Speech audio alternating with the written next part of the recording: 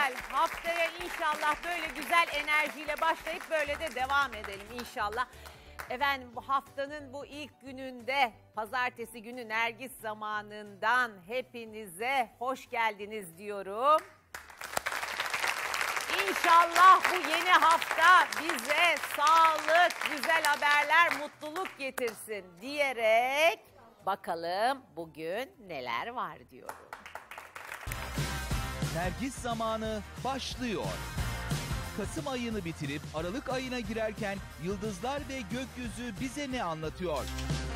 Aşk, sağlık, para konularında hangi burcu ne bekliyor? Astrolog Şenay Devi canlı yayında anlatıyor. Kilo veriyorsunuz ama ayna karşısında hala kendinizi beğenmiyorsunuz.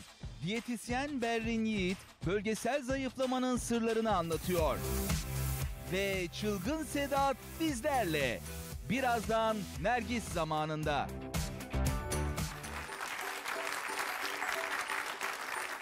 Efendim klinik psikolog Mehmet Başkak bizlerle hoş geldiniz Hoş diyorum. bulduk, teşekkür ediyorum. Nasılsınız? Ee, aslan gibiyim. Ah ne güzel. Siz de iyi görünüyorsunuz ama. çok Teşekkür görünüyorsunuz. ederim. Çok teşekkür ederim. Ee, hemen ben konumuza girmek istiyorum. Çünkü kaygı ve korku o kadar önemli bir şey ki hayatımızda. Ee, bunu yenmek için de neler yapılması gerektiğini en güzel sizden bilgilerini alacağız ama bence e, şöyle mi yapalım? Ne dersiniz? Kaygı ve korku arasındaki farkı bir anlatabilir miyiz? Ha, Var mıdır bir fark? hep karışıyor. Heh.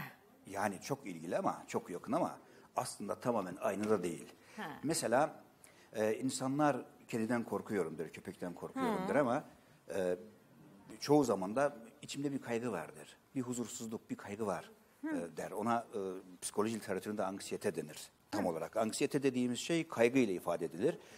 Korkular bellidir.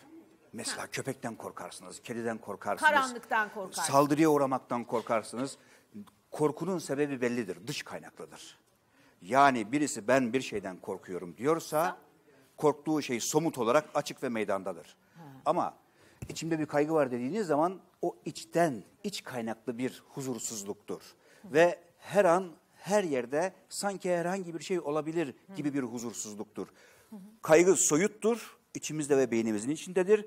Korku ise somuttur ve onu görürüz, biliriz.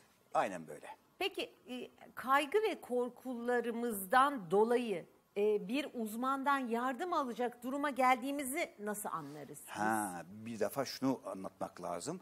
Korku olmazsa hayatta kalamayız.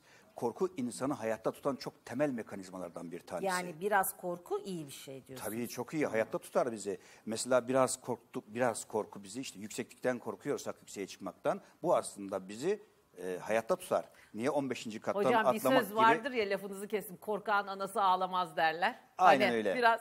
Aynen öyle tabii. Ama e, korku bizi uçağa binmekten engelliyorsa, uçağa bindirmiyorsa orada bir sıkıntı var demektir. Patolojik bir duruma kaymıştır. Orası terapiliktir artık yani veya tedaviliktir. Demek ki içimde bir hafif bir stres, hafif bir huzursuzluk. Ya işte sınava gireceğim veya şimdi evin büyüğü gelecek veya e, eyvah misafir gelecek.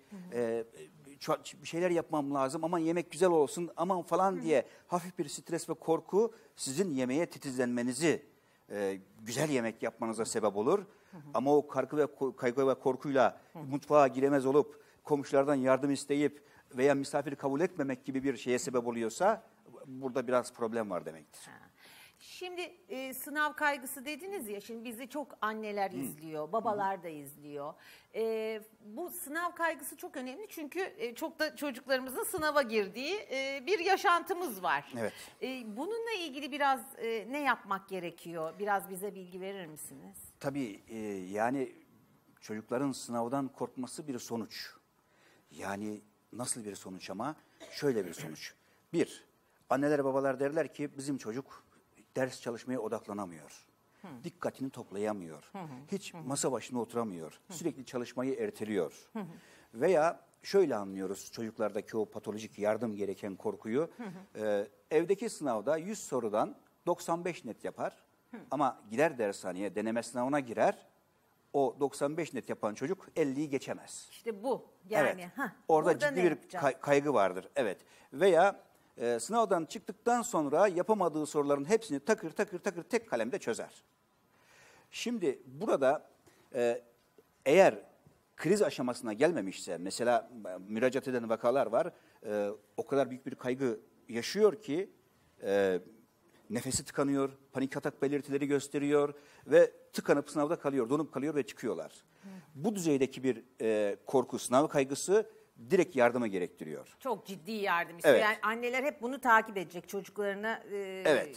bunu takip edip var mı bakacaklar. Tabii tabii bir rehber lazım. Nasıl ki bilmediğimiz bir şehre gittiğimiz zaman bir rehber tutup bizi gezdirsin diye, o yolları biliyor diye peşinde tak- takılıyorsak, e, işi iş için işin içinden çıkılmaz bir e, duruma gelmişse eğer kaygı, sınavda kilitleniyorsa veya ağır mide bulantıları, kusmalar, böyle gelen vakalar var. Hatta bir e, bir- çocuk vardı çocukcağız, lise düzeyindeki bir öğrenci e, sınav esnasında çişini kaçırıyor kaygıdan, tutamıyor. Ah canım, Tabii. Ve, ah ve canım. ikinci bir travma söz konusu. Şimdi oturup da kimse e, buna bu çocuk kendi kendisine yardım eder diyemez. Bir rehbere ihtiyaç var. Bir psikoloğa muhakkak müracaat etmek gerekiyor ve destek almak gerekiyor.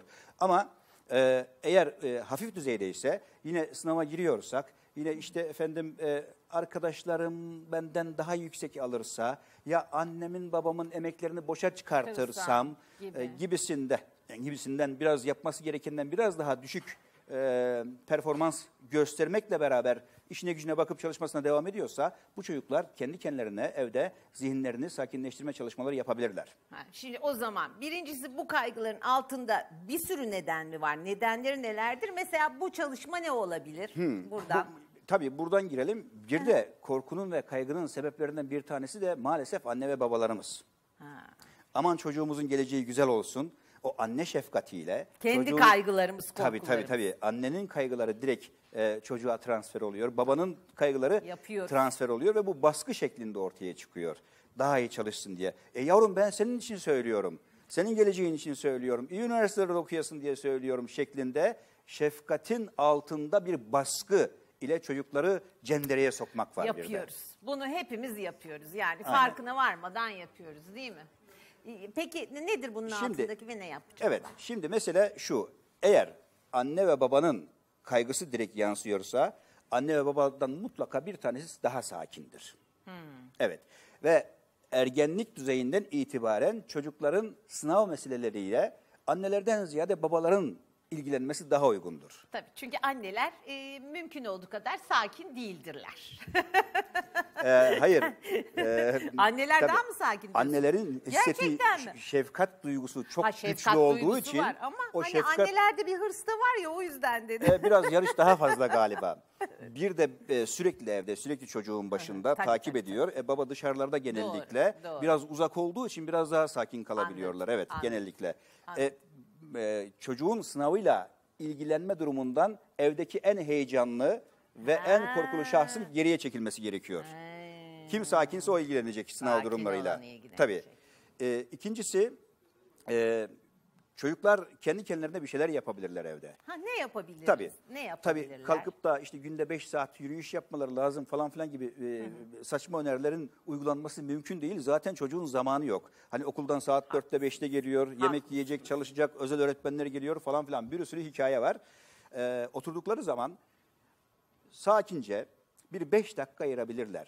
Zihinlerini sakinleştirmek için. Yani geldiler okuldan böyle kendilerine bir geldikten sonra bir şöyle bir üstlerini değiştirip falan filan bir hafif bir şey yedikten sonra mı böyle bir beş dakika versin? Bir rahatlasınlar elbette ki. İdeal bir çalışma programında eğlenceye de vakit vardır. Çok verimli ders çalışmaya da vakit vardır. E, oturup filmini de izleyebilir, ona da vakit vardır. İyi program. İyi bir iyi bir plan ve program lazım. Bu bir. E, ve e, hedefleri aşamalandırmaları gerekiyor. Aşama aşama. Yani ben her gün e, şu dersleri mutlaka şu konulara kadar çalışacağım şeklinde bir plan yapmaları gerekiyor. Çünkü günlük planı tamamlamışsa en iyi anksiyeteyle, kaygıyla mücadelenin en iyi yolu ve güven kazanmanın en iyi yolu çalışmaktır. Çalışmanın lezzeti başka hiçbir şeyde yok. Ben buraya kadar çalışacaktım, çalıştım, Oh. rahatım gibi Ay bir o ne durum. büyük rahatlıktır Evet. doğru. Peki ne yapacak çocuk? İkincisi, e, eve gelip rahatladıktan sonra eğer sürekli bir e, ya az yaparsam e, ya daha geriye düşersem falan gibi sıkıntıları varsa ama bir yandan da işine gücüne devam ediyorsa çocuk oturup bir beş dakika gözlerini kapatsın. Şimdi şu anda tamamen sonuna kadar dinlesinler sevgili izleyicilerimiz. Aman şu anda bizi dikkatle diz- Evet. dinleyin efendim. Gözlerini kapatacak ve o sınavla ilgili sınavı zihninden düşündüğü zaman, tasarladığı zaman o sınavla ilgili huzursuzluğun bedeninin neresinde olduğunu hayal etsin. Çünkü mutlaka bütün duyguları biz hissederiz. Sevgiyi kalbimizde hissetmemiz gibi. Düşündüğü zaman o huzursuzluk ne tarafta vücudunun neresinde onu bir hissetsin. Bu birinci adım. Neresi Evet. kasılıyor, neresi geriliyor, neresinde hissediyor. Sonra zihninden o huzursuzluğun o içinde hissettiği şeklini uydursun. Ha, bir şekil bulsun ona. Tabii bir şekil bulsun. Üçgen olabilir, dağınık olabilir, bulut gibi olabilir. Bir şeye benzetsin, somut bir şeye benzetsin. O huzursuzluğu. Evet. Evet. Tepsi gibi olabilir, top gibi olabilir, Balon gibi balon olabilir. gibi olabilir. Her şey olabilir. Ha, bunu şuna benzetiyorum diye ona bir renk uydursun üçüncü aşamada. Ha, sonra da ona bir renk e, U- uydursun. Evet. evet. Mesela diyelim ki ben e, bu programa çıkmadan önce e, bir sürü insanın karşısında olacaktım. İşte hafif bir kaygı oldu. Acaba düzgün konuşabilir miyim falan filan diye. Hemen gözümü kapattım, odaklandım. Şuramda böyle bir şeyler var. Şunu şöyle küçük bir top şeklinde hayal ettim ve ona bir kırmızı renk verdim. Kırmızı top. Sonra o kırmızı topu hayalimde çıkartıp camdan dışarıya savurdum. Evet. Yani korku zihnimizin içindeki hayali bir düşmandır. Eğer hayali bir fareden korkuyorsanız o hayali fareden kurtulmanın tek yolu hayal ettiğiniz bir kedidir. Yani korkular ve kaygılar zihnimizin içerisinde somut olarak bir şeye benzetin. Bir kez somut olarak onu dönüştürdüğünüzde Bir de bir renk verip onu bir- iyice o da böyle bir şekle soktuğumuzda. Ondan sonra hayalinizde ondan kurtulduğunuzu, içinizden çıkarıp Attığınızı. duvara çarptığınızı, parçaladığınızı hayal edin. Bunu iki üç kez yapın ve sonra stres ve kaygı düzeyinize bakın. Mutlaka ve mutlaka birkaç diş aşağı inmiş olacaktır. çok güzel. İşe mi yarıyor? E işiniz ne? Her gün yapın. E tabii. Değil mi efendim? Aa, sabah uyandınız sınava gideceksiniz bir beş dakika buna ayırın. Evet. Değil mi? Aynen öyle. Bir Bravo. gün önce o hafta bütün bunu ya bence çok güzel. E bunu çok endişeli annelerimiz de yapabilir. Ha. Evet eyvah şimdi bu çocuğun durumu ne olacak? Şimdi sınava gidiyor ya yine geri kalırsa ya yine teyzesi kızından daha az yaparsa gibi e, anneciğim çocuğa baskı yapacağına otur. O kaygıyı nerede hissediyorsun? Güzel. Somutlaştır, ona bir şekil ver, bir şeye benzet, somut bir şeye benzet, rengini Bir rengi uydur. Sonra zihninden çıkartıp Al onu at. çıkartıp at. At. Aa, bunu e, ben çok beğendim. Çok da güzel bir e, yorum oldu bu.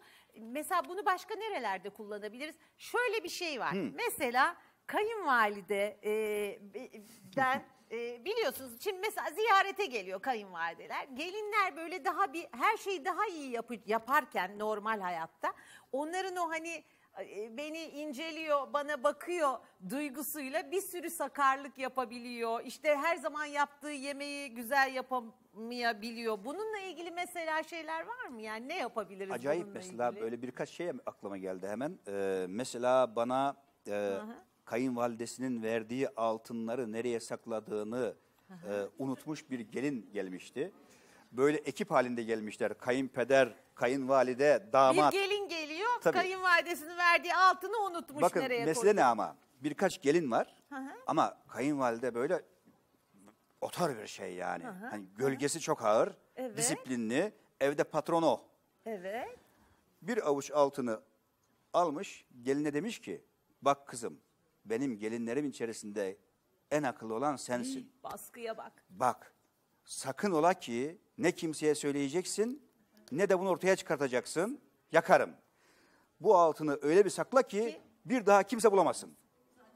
O korkuyla var ya öyle bir gömmüş ki sadece eve değil beynine de direkt bilinçaltına gömmüş asla hatırlayamıyor. Ay Ancak transa hipnozu alarak hipnozla hatırlamasını sağladık. vay. Evde tahta mahta bırakmamışlar, dolap bırakmamışlar, sökmüşlerdi. En son Hocam. çaresizlikten gelmişlerdi bize. evet. Hocam çok Mesela. güzel bir şeyle final yaptık. Gerçekten çok bilgilendirdiniz. Çok faydalı bilgiler verdiniz. Çok çok teşekkür Ben ediyorum. teşekkür final ediyorum. de çok ilginçti. Çok teşekkür ederim. Eyvallah. Ben teşekkür ediyorum.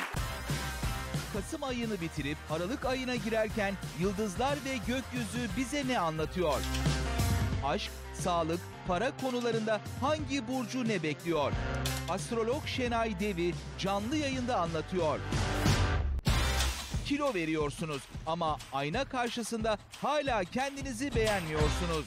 Diyetisyen Berrin Yiğit bölgesel zayıflamanın sırlarını anlatıyor. Ve çılgın Sedat bizlerle. Birazdan Nergis zamanında.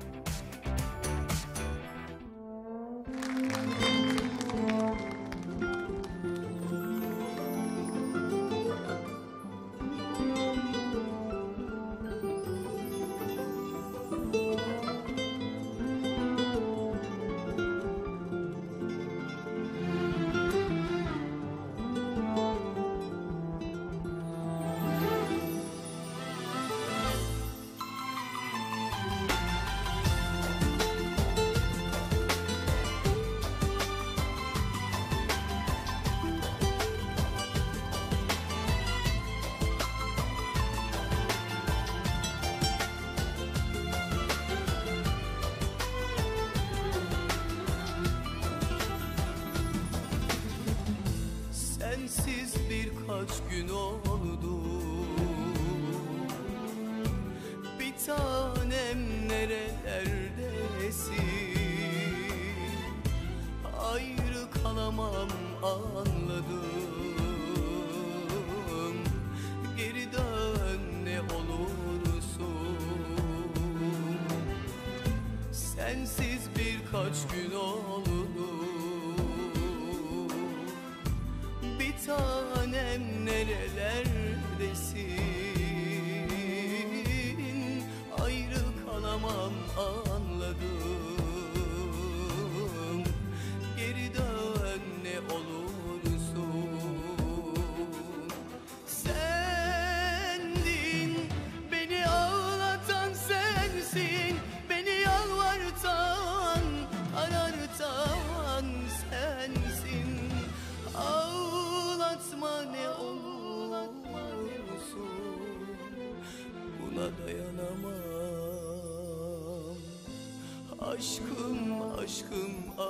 aşkım. Bu başıma neler açtım Deryalar kadar severim. Uğruna ölürüm aşkım.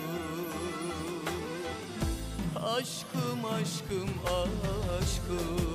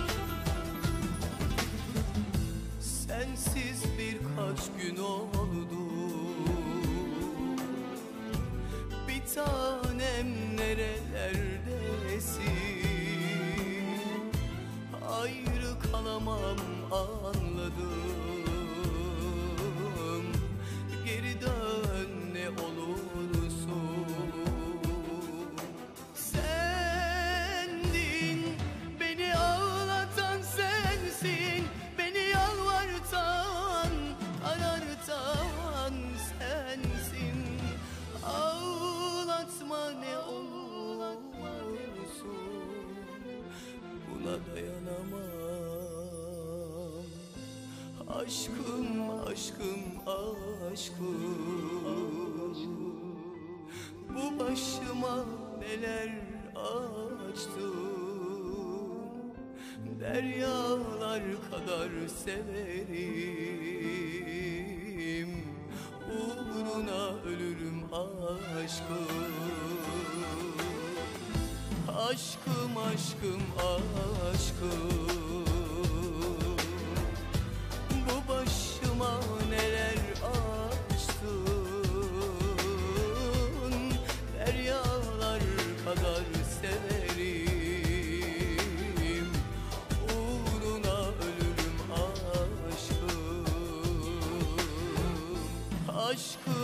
Aşkım aşkım Bu başıma neler açtın Deryalar kadar severim Ay, ay canımsın ya. Canım benim. Hoş geldin. Şu güzelliğe bakar mısınız? Aa, esas vallahi bir, şey maşallah söyleyeceğim. deyin. Sakal çok yakışmamış mı? Çılgın Sedat efendim. Teşekkür Hoş ederim. geldin canım. bulduk. Hoş, geldin. Nasılsınız? Buyurun. Lütfen. Ay canım Lütfen. sen. Hayır. lütfen. Önce Ben- lütfen. Hanım, lütfen. Önce sen, önce sen. Tabii zerafete yani bir de önden geçerse Hay. Allah. Hoş geldiniz. ya. Çok iyi gördüm. Yani gerçekten bir kere e, hani hep böyle sakal genelde daha büyük gösterir insanları. Sen bir kere zaten e, olduğundan daha Milyon küçük. tiplik- e, milyon tipli gerçekten daha genç duruyorsun ama Teşekkür ederim, e, sağ olun. sakal da bayağı hani hiç öyle yaşlı göstermemiş. çok Survivor yakışmış. anısı olarak kaldı. Ya. Ee, saçlarım beyazlamıyor enteresan. Sakallarım da var ama saçlar beyazlamıyor. Ben de beyazlasın istiyorum. Eşim de ya saçma ama Aa, böyle neden iyice beyazlısın? Daha karizma duruyor. Hayır gayet karizmatiksin vallahi. Vallahi çok daha çok iyi bu. gördüm Çok seni teşekkür ben. ederim, Çok sağ iyi olun. gördüm. Bu arada ya şimdi o kadar enteresan ki mesela senin her türlü aleti çalıyorsun müzik aletini. Yani çalmaya İşte çalışıyorum. gerçekten e, belirli bir yaştan sonra e, gerçi hep futbol oynamışsın ama Evet. yani 35 gibi bir yaşta profesyonel e, Dünyada bir ilk futbol. oldu. Ya, Dünyada 35 inanamıyorum yaşında profesyonel olan Bu yok. Çok ilginç bir olay. Valla bir gün e, oturuyordum böyle. Hep şey isterdim hani erkekler daha çok böyle işte erkek oğlum olsun, erkek oğlum olsun, oğlum olsun hani vardır ya. e tabi Allah bana nasip etti iki tane. Maşallah. E, çok şükür Allah şanslıyız bağışlasın. iki tane. E tabi Siraç e, hani farklı bir e, Özel bir durumu evet, var. Özel bir e, çocuk olduğu için oturuyordum böyle hani oğlum topçu olsun dedim ki ya onun yerine ben olmalıyım yapmalıyım bu işi. Bir de aslında ilk e, 90'lı yıllarda futbolla ilgileniyordum. Tam bir yol ayrımına geldim. Ya futbolu seçecektim ya müziği. Babam şu an e, kardeşim falan bizde Vedat. Babamlar da bizde. Bu arada annem e, bir kez daha Allah bütün herkese şifa versin. Annem bir ameliyat geçirdi. E, göğsümüz alındı. E, ama e, Şu anda iyi inşallah, mi? E, İnşallah toparlıyor çok yavaş şükür, yavaş. çok şükür. Biz Geçmiş de, olsun diyoruz e, buradan. Çok değerli e, Murat hocama teşekkür ediyorum. Çok güzel bir ameliyat e, geçirdi. Hanımlarda hep bu var. Lütfen bir kez daha altını çizelim. Çizelim. E, eminim birçok doktor çiziyordur. Lütfen 6 ayda bir e, göğüs kontrolünü mutlaka yaptırın işte. Ay, nasıl doktorlarımız güzel bir mesaj söylüyor. Yani verdin şu anda. Bunu yapın ne olursunuz. Çünkü annemin mesela hiçbir şey yoktu. Midesiyle alakalı bir şeye gitti. Göğsü çıktı. Aa. Hani bununla hiç uğraşmayın mideyle dedi. Hemen hemen dedi ciddi bir şekilde. Çok şükür teknoloji ilerledi. Biz Türk hekimlerimize zaten her zaman güven, güvenip ayakta alkışlıyoruz neticesinde. Ama Ondan annen dolayı erteleseydi Tabii, ya tabii. yani önemli olan o bilinçte olmak. Tabii o ilk dönemi yakalayamayacaktık. Ya. Çok şükür en azından işte koltuk altına yayılmamış, etmemiş Çok falan. şükür. Hani tamam göğsümüz alındı ama yerine e, yine protez de kondu. Babama dedim bak şanslısın bu yaştan sonra baba. yani Allah sağlık versin Amin. inşallah. şeyde kaldık. Yol ayrımına geldim. Erkek kardeşim futbolcu olmayı seçti. Babam dedi Evet, ki erkek biriniz, kardeşim profesyonel. biriniz topçu olun, biriniz popçu. Ben parayı oradan ben de müziği seçtim Ee, böyle ama içimde hep uhdeydi çünkü hep e, top oynuyordum, top oynamayı çok seviyordum. Ve 35 yaşında da Zeytinburnu Spor'da profesyonel oldum. İki sene profesyonel oynadım, iki sene de amatör oynadım. O keyfimi de yaşadım Allah'a şükür. Şahanesin ve çocuklar da bunu gördüler. Tabii Ne ki. kadar güzel. Yani ne kadar e, güzel. benim için bir mutluluktu. E şimdi benim E, ufak oğlum Yağız ellerinizden öper 8 yaşında. Maşallah. E, haftada iki gün Aikido dersi alıyor. Hafta sonu da iki günde futbol e, okuluna başladı. Çocuklarımızı sporcu yetiştirelim. Ne olduğu önemli değil. İster yüzsün, ister tenis oynasın, ister basket oynasın, ister futbol oynasın ama çocuklar sporun içinde olsun. Neden? Çünkü çocuklarımız sporcu olursa ahlaklı çocuklar olarak yetişecekler. Disiplinli. Öyle tabii disiplinli olacaklar, öyle büyüyecekler. Onun için bizim için bunlar önemli. Eğitim evde başlıyor. Yeni geçti. Ee, başta e, baş öğretmenimiz olmak üzere tabii ki Mustafa Kemal Atatürk ve bütün öğretmenlerimizin öğretmenleri gününü bir kez daha kutluyorum ben. Ya ne kadar bir şey söyleyeceğim. Ya Sedat başladın. Her türlü şeyi o kadar güzel birbirine bağlayarak söyledin ve anlattın ki şimdi Teşekkür böyle ederim. kaldım gerçekten. Gittiğim yerde programcı arkadaşlar gerçekten şey yapıyorlar. Ya soru hazırladık da soramadık ki. Cevap kendim soru cevap gidiyorum galiba pardon. Yormayayım diye sizi. Aynen öyle. Bu arada şimdi Survivor'da açlıktan mutfağa doğru gideceğiz ama Of, of. filmden de bahsetmek istiyorum ben. Çünkü sen e, ya yok yok yani. Estağfurullah. Sedat'ta yok yok. Ne yaptın? Bir film Hayalimdi. yaptın. İki tane yazdığım senaryom vardı. Birisi komedi, e, birisi de oğlumla hayatım. O ama hani festivallik böyle.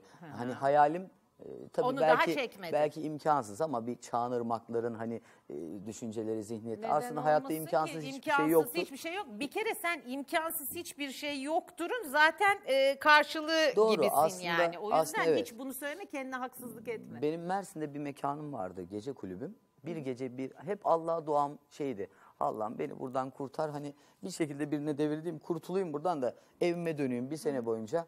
Yani sesimi Allah'ım duydu, mekan yandı.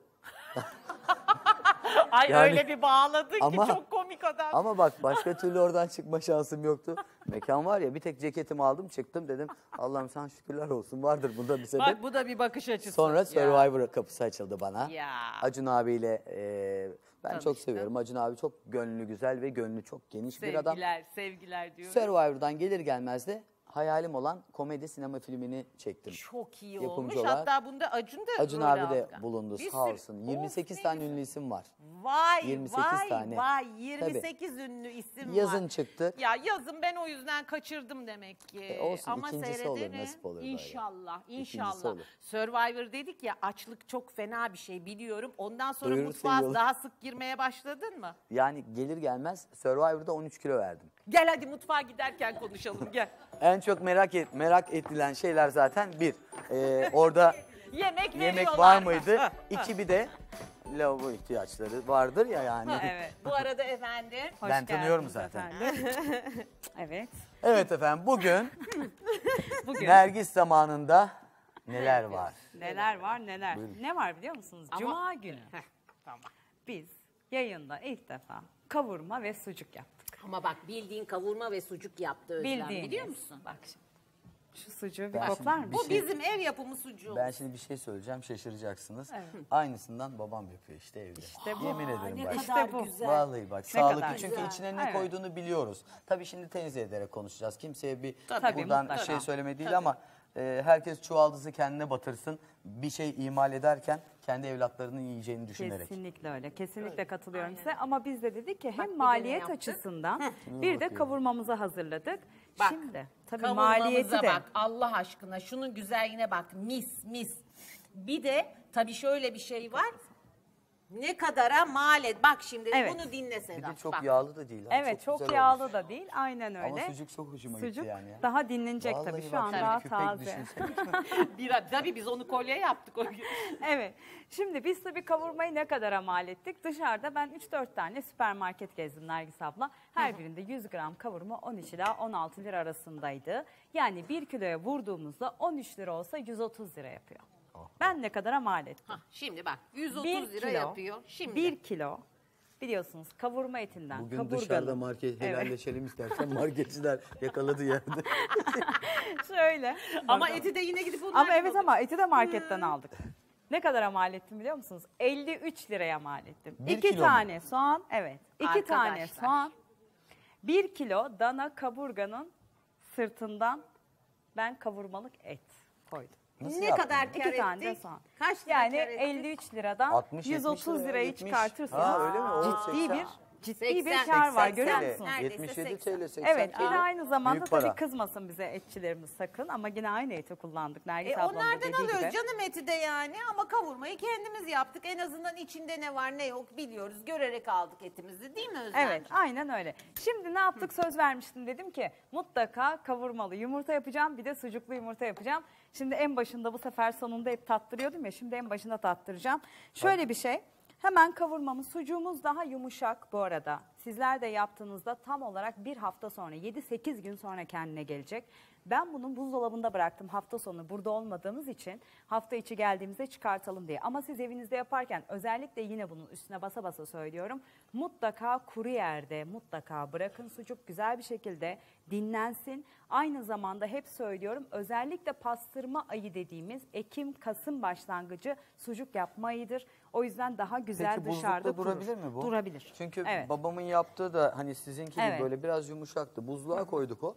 Normal aynen sertleşti. Sabah yaparken kesiyoruz, atıyoruz Aynen. ve Oh Harika oluyor değil mi? çok güzel oluyor. Bir de bu havalarını da ne yapıyorduk? E, iğneyle Evet deliyorduk. Onu iğneyle deliyoruz. Bunu da unutmadık bu arada. çünkü. Evet böylece sucuklu yumurtamız ve Oo, sucuklu kavurmamız oluyor. güzel. İkram edeceğim şimdi hemen size. Şimdi bugün günümüz mandalina. Tam mevsimi, tam sezonu. Hayır fiyatları da şöyle uygunken, çok cebi yakmazken dedik ki bugün mandalinalı lezzetler yapalım. Bir de sonunda öyle bir şey yapacağım ki size o mandalina kabuklarını öyle bir değerlendireceğim Aa. ki şoka gireceksiniz Nergis abla. Şok olacaksınız. Hadi Özlem bakalım. bu ne diyeceksiniz? Evinizde bambaşka bir şey yapacağım. Peki Sedat'a bir şey yaptıracağım Yaptıracağım. mı? Şimdi Oo. başlıyoruz. İsterseniz ya, Şimdi mutfağı severim. sizi böyle alacağım. Ha, Kesinlikle. Özlemişsinizdir Mutfağı siz severim. şimdi mutfağı. Şimdi efendim mandalinalı biz mandalina soslu ayvalı bir kereviz. Kerevizin tam mevsimi mutlaka kullanıyor olacağız. Ama dikkat ederseniz tüm ürünleri ayva, kereviz ve havucu bir araya koydum. Normalde zeytinyağlı yaparken şimdi hanımlar diyecek ki hep ayrı ayrı koyulur ve her biri ayrı ayrı kavrulur ya. Evet. Bugün öyle yapmadım. Çünkü bugün sos kullanacağım. Sos kullanacağınız herhangi bir eğer zeytinyağlı yemeğiniz varsa hepsini bir arada özellikle malzemelerin hemen hemen hepsi birbiriyle sert malzemelerse kullanabilirsiniz. Bakın içerisinde mandalina'nın suyu da var ama sonra su tekrardan kullanacağım. Şimdi evet Sedat'a bırakıyoruz böyle. Oo Sedat'cığım eline yakıştı vallahi. Hepsini birden severim kavuracağız. Oh ne güzel. Şunları da aldık. Güzel. Bak mutfağı da seviyor. Güzel. Çok, Evet. çok. Şimdi ne yapacağız? Şöyle güzel güzel. Bu arada sucuklu yumurta yaparken mutlaka kapakla kapaklarını Ben kapatın. söz veriyorum sizin için yiyeceğim bak gerçekten. Bu arada Sedat'a oradan bir sucuklu yumurta kokusu geliyor Evet, ki evet. yani işkence mi ediyoruz? Çocuğa Yok ne canım, yapıyoruz? Yok yedireceğiz ama. yiyeceğim, sıkıntı yok. Yedireceğiz. O değil yüzden mi? öyle bir sıkıntımız ki. yok. Yedireceğiz. Şimdi kavurma ya da sucuklu yumurta yaparken hep bu beyaz kısımlarını genelde çocuklarımız çok fazla sevmezler. O yüzden ne yapacağız? Şöyle birazcık onları beyaz kısımlarını Hmm. ayıralım. Bence onlara bunu sevdireceğiz. Sevdireceğiz. Neden? O beyazın asıl faydasını anlatacağız. Biz spor yaparken e, sporda mesela sarısını ayırırız. E, şaşıracaksınız sabahları böyle en az 4-5 tane yumurtanın akını yeriz. Ya. Yani beyazını haşlanmış yumurtanın hayırlı yaşa annem. Beyazını Çok yaşa. beyazını yeriz. Neden? Proteindir işte dolu. O vücudu böyle Kesinlikle. çivik yapar. Hatırlar mısınız eskiden e, köylerde yumurtanın akıyla sıvarlarmış e, evlerin duvarlarını. Evlerin Evet, duvarları. Neden? Ses geçmesin. Bir de soğuk değil mi? Ondan Ben da. size hani derler ya koca karı ilacı böyle. Rahmetli babaannemin yaptığı bir ilacı söyleyeceğim. Söyle. Gerçek mi diyeceksiniz. Kaburgam çatladı. İki kaburgam çatladı ve batıyordu, batma yapıyordu. Nefes aldıkça batar o. ve kaburga çatlağının özelliği yaşınız kadar gün çekersiniz. Babaannem ne yaptı?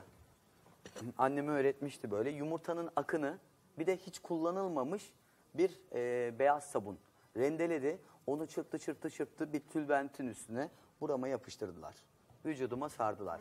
Bakın o bir gün sonra kuruduğunda burayı böyle çekiyor ya onu çıkartmak isterseniz derinizi söker yerinden. Ha, alçı gibi. Alçı gibi. Ve oldu. ve ne yaptı biliyor musunuz? O kaburgayı yukarı doğru çekiyormuş böyle. Ve ben bunu yaşadım. Yaşadığım için anlatıyorum. Ee, 4 gün sonra, 3-4 gün sonra kendi bırakıyor, kendi düşüyor. Eskilerin Ve bildiği bir nefes şey almam işte. rahatladı. E tabi babaannem Çok yani ilginç. mesela ondan öğrenmiştik. Ama ben Mekanı de güzel mesela olsun. böyle elim yanınca falan yumurta akını sürerim. Mutfakta elim yanarsa bayağı e, faydasını Bayağı görüyorum. faydası var. Evet Aynen canım. öyle. Biz Bu de arada- zaten cuma günü ne yaptık? Yumurta akından Merenk yumurta Evet, yaptık değil mi? Köpek, Çocuklarımız hani köpük yumurta, yumurta. akını sevsinler. Sevmeliler yani. Biz özlem bir yumurta akından bir şey yapıyor böyle bulut Öyle yumurta çocuklar çok seviyorlar. Evet işte. işte Şaheser Güzelliğe kavurmalı yumurta. Buyurun efendim. Ekmeğimiz de var. Hayatım. Şöyle bandıra bandıra bence yemeniz Ben lazım. sandalye bir de çay alayım. Görüşürüz sonra şu tarafa doğru gideceğim. Gel gel bak ekmeğimiz de var bandır şekerim. Oo. Şöyle. Evet Bak ben yemin ediyorum sizin için diyorum. Gerçek Ben de söylüyorum. ben de. oh Çok yani inanın sizi çok sevdiğimiz Kızmıyorsunuz için. yani inşallah. Sizi çok sevdiğimiz için deyip ben bir türlü alama. Hı. Alamadım Özlem. Ya çatal bir şey oldu söyleyeceğim. Nergis abla. Bu bandırma ille olayı de en güzeli. bandıracağım. Tabii. Ya bir şey söyleyeyim mi? Sucuğun lezzeti enteresan. Evet birazcık karanfil ve tarçını fazla fark ettiniz mi? Hı, Ama çok Evet. beğendim. Ben birazcık daha Kayseri işi yaptım hanımlar beyler. O yüzden sizler de ona göre evinizde tarçın ve karanfil Hmm. miktarını yaparken de söyledim ayarlayabilirsiniz. Ben birazcık daha Kendi böyle tarçın ve isteğinize bağlı seviyorum. ama mesela ben sevdiğim için tarçın ve karanfil o e, bol oluşu benim hoşuma gitti. Ama herkes sevmeyebilir. Onu isteğe göre azaltıp çoğalt. Mesela sen tarçın karanfil çok mu seversin? Ben severim tarçın Ben de çünkü severim. özellikle suya atıp içtiğimiz e, yani mi? benim eşim şimdi belki gelecek diyetle alakalı hanımefendi konuşacak ama tanıdığımdan beri hiç 53 sekmez yani 53 buçuk olur 52 buçuk olur ama 54 güzel bir olmaz şey. standart sabit. Çok güzel. Herkes diyor nasıl böyle kalıyorsun yemiyorum diyor. E biz nasıl kilo alıyoruz diyor. E yiyorsunuz diyor yani. Çok Bu kadar doğru basit. diyor. Bu kadar basit. Yani siz o zevki yaşarken ben yaşamıyorum diyor. Bekliyorum. Çok doğru. Her gece yatarken o limonlu suyu vardır. Hmm. Limon sıkar suyu vardır. Tarçınlı. İşte bazen maydanoz ve lahana mı kaynatıyorsunuz? Lahana Lahana yapmadığı Bak, yok yani. elma Burada kabukları. bizim doktorlarımızın anlattığı her şeyi çok güzel uyguluyormuş. Evet Vallahi aynı helal zamanda olsun. öyle suların içerisine mutlaka Sevgiler mandalina diyoruz kabuklarını da atmayalım. Mandalina kabuklarını da mutlaka kullanın. Ama biraz acılık yapar biliyorsunuz durdukça mandalina kabuğu. Onun da çözümünü size ikinci bölümde anlatacağım. Bakın nasıl onu da çözeceğiz. O mandalina kabuğunu ne Çözelim yapacağız? bakalım. Bak bak, yemeği çılgın bıraktı Sedat geldi hemen buraya yemeği Sedat bıraktı ya. geldi. Aşk Hayır olsun. gördüm ama yani gördüm. Şimdi normalde zeytinyağlı yaparken ilk başta her birini ayrı ayrı kavuracaktık. Ne güzel Fakat kokuyor öyle ya. yapmadık. Dediğim gibi ben mandalina suyunda beklettim onları. Güzel bir şekilde ve şimdi güzel bir kavurma işlemi yapıyor. Ama kavurma işlemi olurken buharıyla ve mandalinanın suyuyla kavruluyor. Bu önemli bir detay. detay. Malzeme listemimde benim e, kuru Kereviz üzüm var yoktu. dediniz, Kereviz değil mi? var. Havuç var. Ayva var. Ayva var. Evet. Şöyle Kereviz, kuru üzüm yoktu, havuç, kuş üzümü yoktu. ayva. Evet. Ama kuş üzümü de attım Evet ben azıcık şimdi içine. kuş üzümü de attım birazcık. Dikkat edersiniz Listeye normalde. ekleyin. Evet. Normalde şeker kullanılır zeytinyağlarda ama bugün o şekeri biz mandalinanın suyundan Evet, alacağız. şekerden O yüzden uzak kullanmayacağız. tabii. Bunun dışında ne yapıyoruz? Şimdi bu kavurma işlemi sürerken hemen şöyle birazcık tuzunu atıyorum. Bak şeyle Güzel gözüküyor Sedat kuş ya. üzümüyle yani hani tatlıyla tuzlu karışım. Evet. Da severim. Diyeceksiniz ki zeytinyağında karabiberin ne işi var? Bazen biber ve tuz hep söylerim yemekler yaparken aradaki tatları dengelemek için var olurlar. Yani Ya. acı tat almak için değildir. Bugün buraya koyduğumuz karabiberin asıl püf noktası mandalinanın o çok şekerli tadı var ya. O şekerli tadını almak için. Şimdi diyeceksiniz ki peki mandalinalar nerede olacak? Mandalinalar tamamen pişecek. Böyle ben suyunu da koyacağım. Ağzını kapatacağım. e, tenceremin ve o hafif artık ateşte pişmeye Demlenme mi başlayacak. diyorsunuz? Evet, O demlenme sırasında mandalinaları koyacağım ki kabuklarından ayrılmasınlar, birazcık daha diri dursunlar diye. Şimdi ne yapıyorum? Ne? Hazır böyle 9'da şöyle derecemizi düşüreceğim birazcık. Tamam. Şimdi artık ayar düşecek.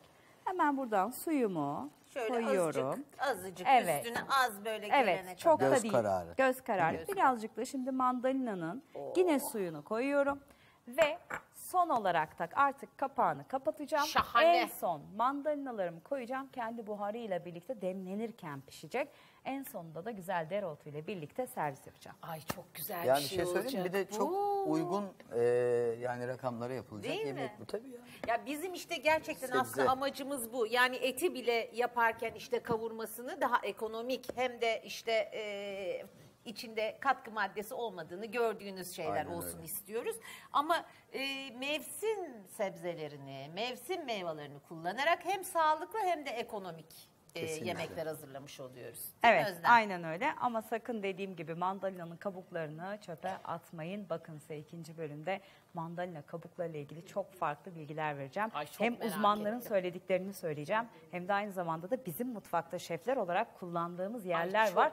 Onlarla ilgili ettim. püf noktalar vereceğim ikinci bölümde. Normalde salatalığın hani e, işte yüze kullanırlar ya gözleri falan hı hı, böyle evet. salatalık e, şeyini falan şimdi merak ettim. Ben de çok Evet, merak bambaşka ettim. bir şey Güzelliğimizle yapacağım mi ilgili yoksa Her yemekle şeyle mi ilgili? hem mi? yemekle ilgili hem güzellikle ilgili hem de ev Aa! eşyasıyla ilgili bambaşka bir şey. Ev eşyasıyla. Evet, Ev ev eşyasıyla ilgili bana sakın hani şunu alamadım benim param yok demeyeceksiniz. Bir Ya şey öyle- söyleyeceğim. Öyle bir şey yapacağım ki bu çöpe giden var ya şu mandalina kabuğunu. Öyle bir şey yapacağım ki. Duvar mı yapacağız? Ne yapacağız ya? Ben de Tencere- çok merak tencere ettim tava mı gerçekten. yapacağız? Özlem nasıl bir şey bu Bu arada değerlendirme işlerini eminim zaten Sedat çok iyi biliyordur. Çünkü Yani. onlar adada bol bol her şeyi Oo, hiç değerlendirdiler. sorun. ben yani. yatak Evet. yaptım adada kendime. Ya. Ya. Peki mandalina Yatak çıktı yaptım. mı bir yerden? Yok, mümkün çıkmadı. değil. Mümkün değil değil mi? Bol bol Yemiyordunuz ananas. değil mi bir gündüz- şey? Yok vallahi de billahi de. Ay Bak, ne yemin zor ediyorum. bir şey Çok ya. zor ya. Bakın ben iki buçuk ayda 13 kilo verdim ya. 13 kilo verdim. Gerçekten Orada çok en büyük sıkıntı zaten açlık. Açlık sizi vuruyor. Ondan dolayı hani açken mesela böyle bakışıyoruz böyle oluyor işte. Niye bakıyorsun? Sen niye bakıyorsun diyor. Sen niye baktın diyor. Sen niye karıştın diyor. Ne oldu diyor. Hani açlık çok vuruyor. Açlık. açlık ne fena bir şey. Zaten derler ya Allah kimseye açlıkla terbiye Amin. etmesin. Şimdi derler. hani oruç tutmak, oruç tutuyorsunuz ama akşam bekliyorsunuz. Nasıl akşam yiyeceğim muhabbeti var. Tabii, E şimdi tabii. ben sigara kullanmıyorum ama orada sigara kullananlar e, sigara da içemiyorlar. Ay, hani ne oluyor? Hepsi vuruyor onlara. Hepsi böyle o da sinir yapıyor. Burcun ne hayatım? Akrep. Akrep. Hadi gel bakalım bizi neler bekliyormuş. Çok önemli bir konuğumuz var. Kasım ayını bitirip Aralık ayına girerken yıldızlar ve gökyüzü bize ne anlatıyor? Aşk, sağlık, para konularında hangi burcu ne bekliyor? Astrolog Şenay Devi canlı yayında anlatıyor. Kilo veriyorsunuz ama ayna karşısında hala kendinizi beğenmiyorsunuz. Diyetisyen Berrin Yiğit bölgesel zayıflamanın sırlarını anlatıyor. Birazdan Nergis zamanında. Efendim. Yani anlattıklarını mı dinleyelim, güzelliğini mi seyredelim, renklerine mi bakalım? Ne kadar güzelsin. Hoş geldin Şenaycığım. Teşekkür ederim. Güzel bakan güzel kadın. Ay çok teşekkür ederim. Şimdi bu aralar baya böyle bir e, karışık durumlar vardı. Hatta e, geçtiğimiz bu Dolunay'da İkizler Burcu'ndaydı falan böyle hep bakıyorum böyle stresler e, falan e, çok stresli olmayın, çok işte insanlarla dalaşmayın falan gibi şeyler de böyle okuyordum. Aynen öyle. Şimdi birincisi şu anda ne durumdayız? Merkür geri harekette. İletişimin gezegeni. Ne diyorsun Sedat'cığım bu konulara? Dinleyeceğim sadece. Dinle bakalım. Ee, korkulacak bir şey değil aslında astronomik olarak yılda üç kez durağanlaşır fakat iletişimi temsil ettiği için içinde nefret duygusunu biriktiren, sürekli kendini başkalarıyla kıyaslayanların hayatımızda baskın bir şekilde bizi üzdüğü enerjilerle karşı karşıyayız. Özellikle Hint astrolojisinde ay düğümleri çok önemli. 16 Kasım'dan 20 Aralık e, 2020'ye kadar Yengeç Oğlak e, aksında burç değiştirdi. Bu da bizim geçmişle gelecek arasındaki köprüyü dengeleyeceğimiz, ektiğimizi biçeceğimiz, bize yapılanların ilahi adaletin tezahür edeceği bir dönem ama Güzel. duygusal patlamalara özellikle e, bu 10 gün boyunca dikkat etmemiz lazım. Haklı olduğumuz konularda benim e, gökyüzünün şu dönemdeki mesajını e, şu şekilde değerlendiriyorum.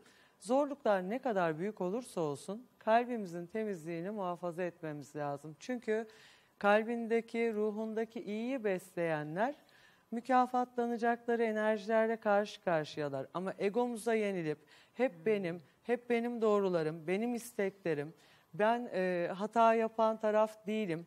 Bize kendimizi suçlu hissettiren insanlara karşı kendimizi suçluluk psikolojisi içerisine sokmadan mücadele edip enerji vampirlerinden uzak durmamız gereken etkiler söz konusu. Ay, çok önemli bir şey bu. İşte özellikle çok dikkat etmemiz gerekiyor. Özellikle o enerji vampirlerine çok dikkat etmemiz Aynen öyle. gerekiyor. Ee, peki şu anda bütün burçlarımızı neler bekliyor haftalık? Ee, giderken de arada hani aklına gelirse şu dönem şöyle şuna da Kasım ayının en şanslısı da bu gibi de böyle konuşabiliriz. Bu hafta Kasım ayının en şanslısı dersek eğer aslan burçları, güneş yükselen ya da ay burcu aslan olanlar iş hayatlarında da özel yaşamlarında da güzel kalplerinin, cömert yüreklerinin karşılığını alacaklar. Güzel. Koçlar özellikle bu haftanın enerjileri onlar için iş ilişkileri ve hukuki konularda zorlayıcı olabilir. Haksızlıklarla mücadele verdikleri bu dönemde aşırı tez canlı davranıp olmayan bir şeyleri oldurmaya çalışırlarsa eğer daha büyük sorunlarla karşı karşıya kalabilirler. Alım satımlar ve finansal konularda haklarını ararken sakin bir tutumla işin ehli e, gerek hukuki anlamda gerek ailevi konularda onları doğru yönlendiren kişilerin söylemlerini dikkate alsınlar. Özel yaşamlarında ise üçüncü şahıslardan kaynaklanan müdahaleler ailevi konularda sorunlara yol açabilir. Başkalarını değil kalplerinin sesini dinlemeleri gereken enerjilerle karşı karşıyalar. Yeni bir ilişkiye başlama konusunda bekar ve ilişkisi olmayan koçlar özellikle bu hafta acele etmesinler. Bir Biz şeylerden... şimdi başlamış olduk mu burçlara? Başladık. Ha, başladık. Koçla başladık. Zodya'nın ilk burcu. Ee, onlara tavsiyem e, bir şeylerden kurtuluş amaçlı anlık kararlarla beraberliklere yol almasınlar. Boğa burçları devam eden Merkür geri hareketiyle birlikte seyahatlerde, işle ilgili konularda bir takım problemler yaşayabilirler. Özellikle resmi dairelerle ilgili konularda bilmedikleri veya tam anlamıyla tanımadıkları insanlara direkt güvenerek hareket etmemelerinde Aman fayda babacığım var. dikkat ettiğim. Çünkü e, iyi niyetleri suistimale sebebiyet verebilir. Boğa burçlarının e, hayatının temeli güven vermek ve güvende hissetmek ama güven duyguları bu anlamda zarar görmelerine neden olabilir. Özel yaşamlarında ise ilahi adalet tezahür ederken geçmişte yaşadıkları kalp kırıklıklarını bir tarafa bırakmanın zamanı geldi. Bu hafta kendilerini özel ve değerli hissettiren insanla ilgili kuşkularından, kaygılarından uzaklaşmaları önem taşımakta. Sağlıkla ilgili konularda ise kronik sağlık problemleri bu hafta yeniden tekrar edebilir. Nasıl olsa bana bir şey olmaz diyerek hareket etmemeli. Aman, Başkaları için onlar e, sürekli mücadele eder, emek verir. Ama kendileriyle ilgili konularda gökyüzünün onlara mesajı başkaları için yaptıklarınızı şimdi Kendiniz kendiniz için yapın. İkizler ailevi konularla ilgili ve işle ilgili noktalarda bir takım sıkıntılarla karşı karşıya kalacaklar. Neden? Çünkü iletişimin gezegeni Merkür onların yönetici gezegeni. Karşıt burçlarında geri harekette olduğu için ailevi konularda geçmişte yaptıkları uyarılarda ne kadar haklı olduklarını duygusal anlamda etkilenerek e, onaylanacakları enerjilerle karşı karşıyalar. Özellikle aile bireyleriyle ilgili onların finans ve sağlıkta yaşayacakları ani değişimler, ani olaylar ikizler burçları için duygusal anlamda sarsıcı ama bir anlamda da toparlayıcı enerjileri beraberinde getirecek. Onlara tavsiyem bu dönem içerisinde özellikle önümüzdeki 15 gün boyunca iş hayatları, geçmişle ilgili meselelerle ilgili kiminle nerede ne konuştuklarına dikkat etsinler. Çünkü iş hayatlarında uzun süren sessizlik döneminden sonra yıldızların parladığı bir sürecin içerisindeler. Yaptıkları işe sürekli muhalefet eden, onları e, başarısızlıkla itham etmeye çalışan insanları muhatap almadan yok saymayı öğrenmeleri fazlasıyla önem taşımakta. Güzel. Özel yaşamlarında ise çocuk sahibi olan ikizler onların aşırı duyarlılıklarının kendilerine zarar verme noktasına gelmemesi adına anne ve baba olarak yerinde müdahaleler yapsınlar. Özel yaşamlarında ise hissetmedikleri bir şeyleri kızgınlıkla, kırgınlıkla ifade etmemeye özen göstersinler. Ani bitişler ve pişmanlıklar yaşamak istemiyorlarsa şayet. Güzel. Yengeçler onlar fazlasıyla ikizler dolunayından da etkilendiler. Neredeyse hayatlarındaki herkesin yaşadıkları zorluklardan sorumlu tutuldular ve bu onlar için fazlasıyla yorucu oldu. Fakat e, haftanın ikinci günden itibaren daha huzurlu hissedecekleri enerjiler söz konusu. Sevgili yengeçlere tavsiyem şu andaki gökyüzü konumu ve e, kuzey ve güney ay düğümünün burçlarında ilerliyor olması onların geçmişten bu yana taşıdığı ağırlıklardan özgürleşecekleri enerjiler anlamına geliyor. Fakat e, arkanıza bakıp yürüyemezsiniz. Benim yengeç burçlarına mesajım bu. Şimdi güzel bir cesaretli söz. davranmalı, önünüze bakmalı, hayata yolcu olmayı seçmeli. Bencillik değil ama hayatın e, merkezine kendilerini almaları gerektiğinin farkına varmalılar. Çünkü iş hayatlarında da, finansal konularda da, aşkta da çok zorlu imtihanlar verdiler. Dönüşüm zamanı onları karşılarken biraz ben buradayım diyebilmeliler. Çünkü arkadaşlıklar, ailevi konularda yaşanan zorluklar onları olgunluğa eriştirdi ama farkına varabildikleri sürece bu dönemi uzun vadeli şekilde değerlendirmeye özen göstersinler. Aşk hayatlarında geri dönüşler yaşanabilir. Özellikle bir ilişkide tek taraflı fedakarlıklar söz konusuysa gerçeklerle yüzleşmeli, kar- karşı tarafın kar etmesine dur demeliler. Önemli. Aslanlar finansal konularda da, iş ve eğitim hayatları ile ilgili konularda da son derece şanslı enerjilerle karşı karşıyalar Ne bu güzel. hafta. Özellikle e, başvuruda bulunup cevap alamadıkları noktalar netleşecek, belirsizliklerin ortadan kalkmasıyla rahatlamaya başlayacaklar. Fakat gurur yapıp veya istemem yanlış mı anlaşılır, birilerini üzer miyim düşünceleri süreci doğru değerlendirememelerine neden olacağından kontrollü olmaları gerekli. İstemeyi bilsinler ve özel yaşamlarında onlar çok e, cömert insanlar. Evet. İkizler ve aslanlarla ilgili çok yalan yanlış bilgiler vardır astrolojide ama verdikleri emeklerin karşılığını alacakları Ay ne güçlü güzel. etkiler söz konusuyken kalıcı başlangıçlar iş ve özel yaşamlarında onları karşılarken cesaretli davranmaları gereken bu dönemi iyi değerlendirsinler. Fakat bu hafta kayıp ve hırsızlıklarla ilgili özellikle bilgi hırsızlıkları, kişisel güvenlikleriyle ilgili konularda geçmiş sırların deşifre edilmesi gibi olaylara karşı kontrollü olsunlar. Dostu düşmandan ayırt etmeleri gerektiğinin bilinciyle herkesi kendi gibi dürüst davranmaktan uzaklaşmaları O gereken zaman o hani telefonla dolandırılmalara falan da dikkatli olsunlar Aynen yani. öyle. Olabilir onlara daha çok e, gelebilir bu tip şeyler. Her diyoruz. şeyde Aha. e, güvenliğe önem vermeleri Güzel. gerekli. Özellikle ailevi konularda da e, haksız eleştirilerle karşı karşıya kalabilirler. Onlara önerim doğru olduklarına inanıyorlarsa kimin ne söylediğini en yakınları olsa bile kulaklarını tıkayıp kendi doğrularına doğruları. inanarak Güzel. Başak burçları bu hafta her türlü iş değişikliğinden, yeni iş anlaşmalarına özellikle Başak Burcu'nun ikinci 10 gününde doğanlar uzak durmaları gereken enerjilerle karşı karşıyalar. Bu arada e, sevgili izleyenler sadece 12 burca göre değil, güneş, yükselen ve ay burcunuza Ya. göre değerlendirin. Diyelim ki ben boğa burcuyum, yükselen burcum aslan.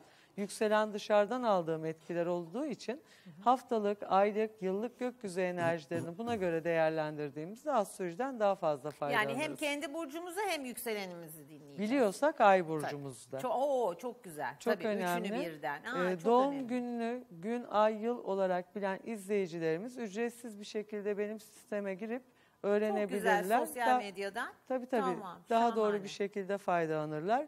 Başaklar, ortaklıklar, ailevi konularda, miras ve finansla ilgili konularda e, dikkatli olmaları gereken enerjilerle karşı karşıyalar. Özellikle kardeşler ve kardeşlerin eşlerinden gelebilecek bir takım oyunlar, entrikalar, e, kendi haklarını sahip olmak için haksızlıklarla uğraşabilirler.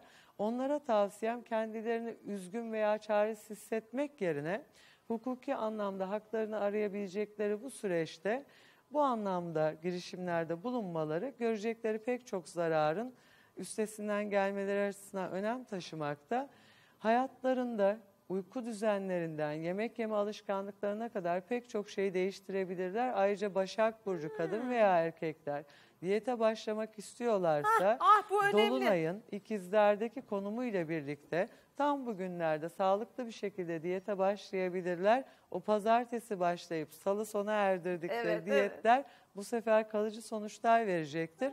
Özel yaşamlarındaysa ne ektilerse karşılığını alacakları enerjilerde karşı İnşallah ne karşıyalar. güzel ne güzel. Diyete başlayabilirler yani bu sefer. Tabii ayın konumu bu anlamda bize çok fayda sağlıyor. Çok iyi. Ee, sevgili e, Doktor Ender Saraç'a da selamlar olsun. O Ayurveda'yı çok doğru kullanır. Ay fazları her zaman bizim kilo alıp vermemiz, e, bedende toksinlerin atımı ile ilişkili e, medikal astrolojide de çok önem taşıdığından mutlaka özellikle hem cinslerin faydalanmasını öneririm. Teraziler ailevi konularda da özel yaşamlarında da fazlasıyla dikkatli olmaları gereken enerjilerle karşı karşıyalar. Yanlış anlaşılmalar hafta Hmm. ortasına kadar onların üzüleceği durumlara yol açabilir. En korktuğum şeydir yanlış anlaşılmak. Evet ve Merkür geri hareketi bu anlamda özellikle terazi burçlarının ilk 10 ve ikinci 10 gününde doğanları uyarıyor. Yeni anlaşmalar, sözleşmeler, yatırım planları varsa yeni tanıdıkları insanlardan zararlar görebilirler. Kanuni problemler yaşamak istemiyorlarsa aile bireylerinin de etkisi altında kalmamaya dikkat etmeleri önem taşımakta.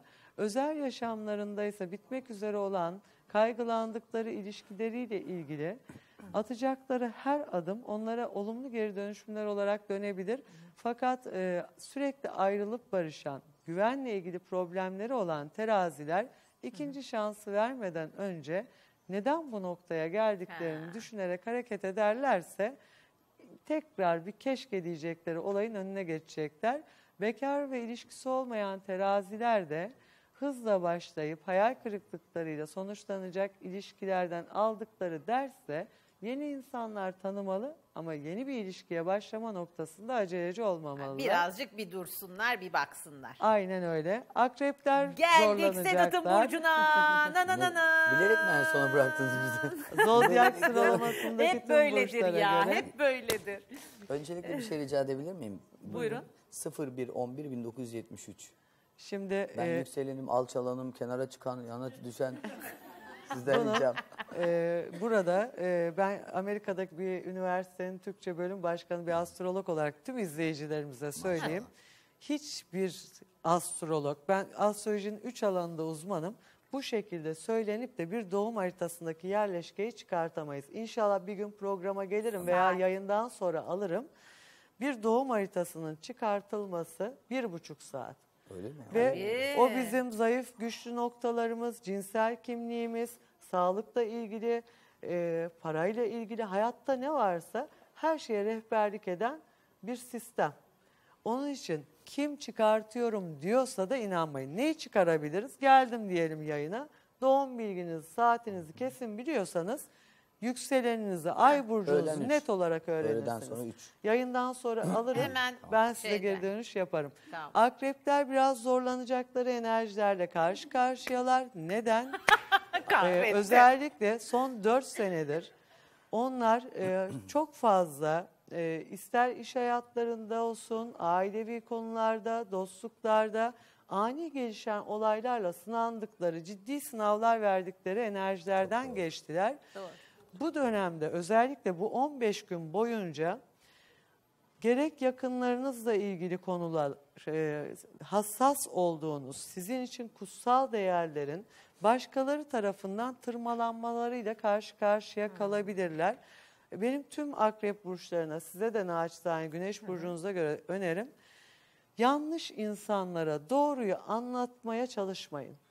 Bu periyotta sizin doğrularınızla onların yanlışları çakışacak, öfke patlamaları, duygusal gerginlikler özellikle meslek ve eğitim hayatlarında yapmaları gerekenlerden alıkoyabilir onları.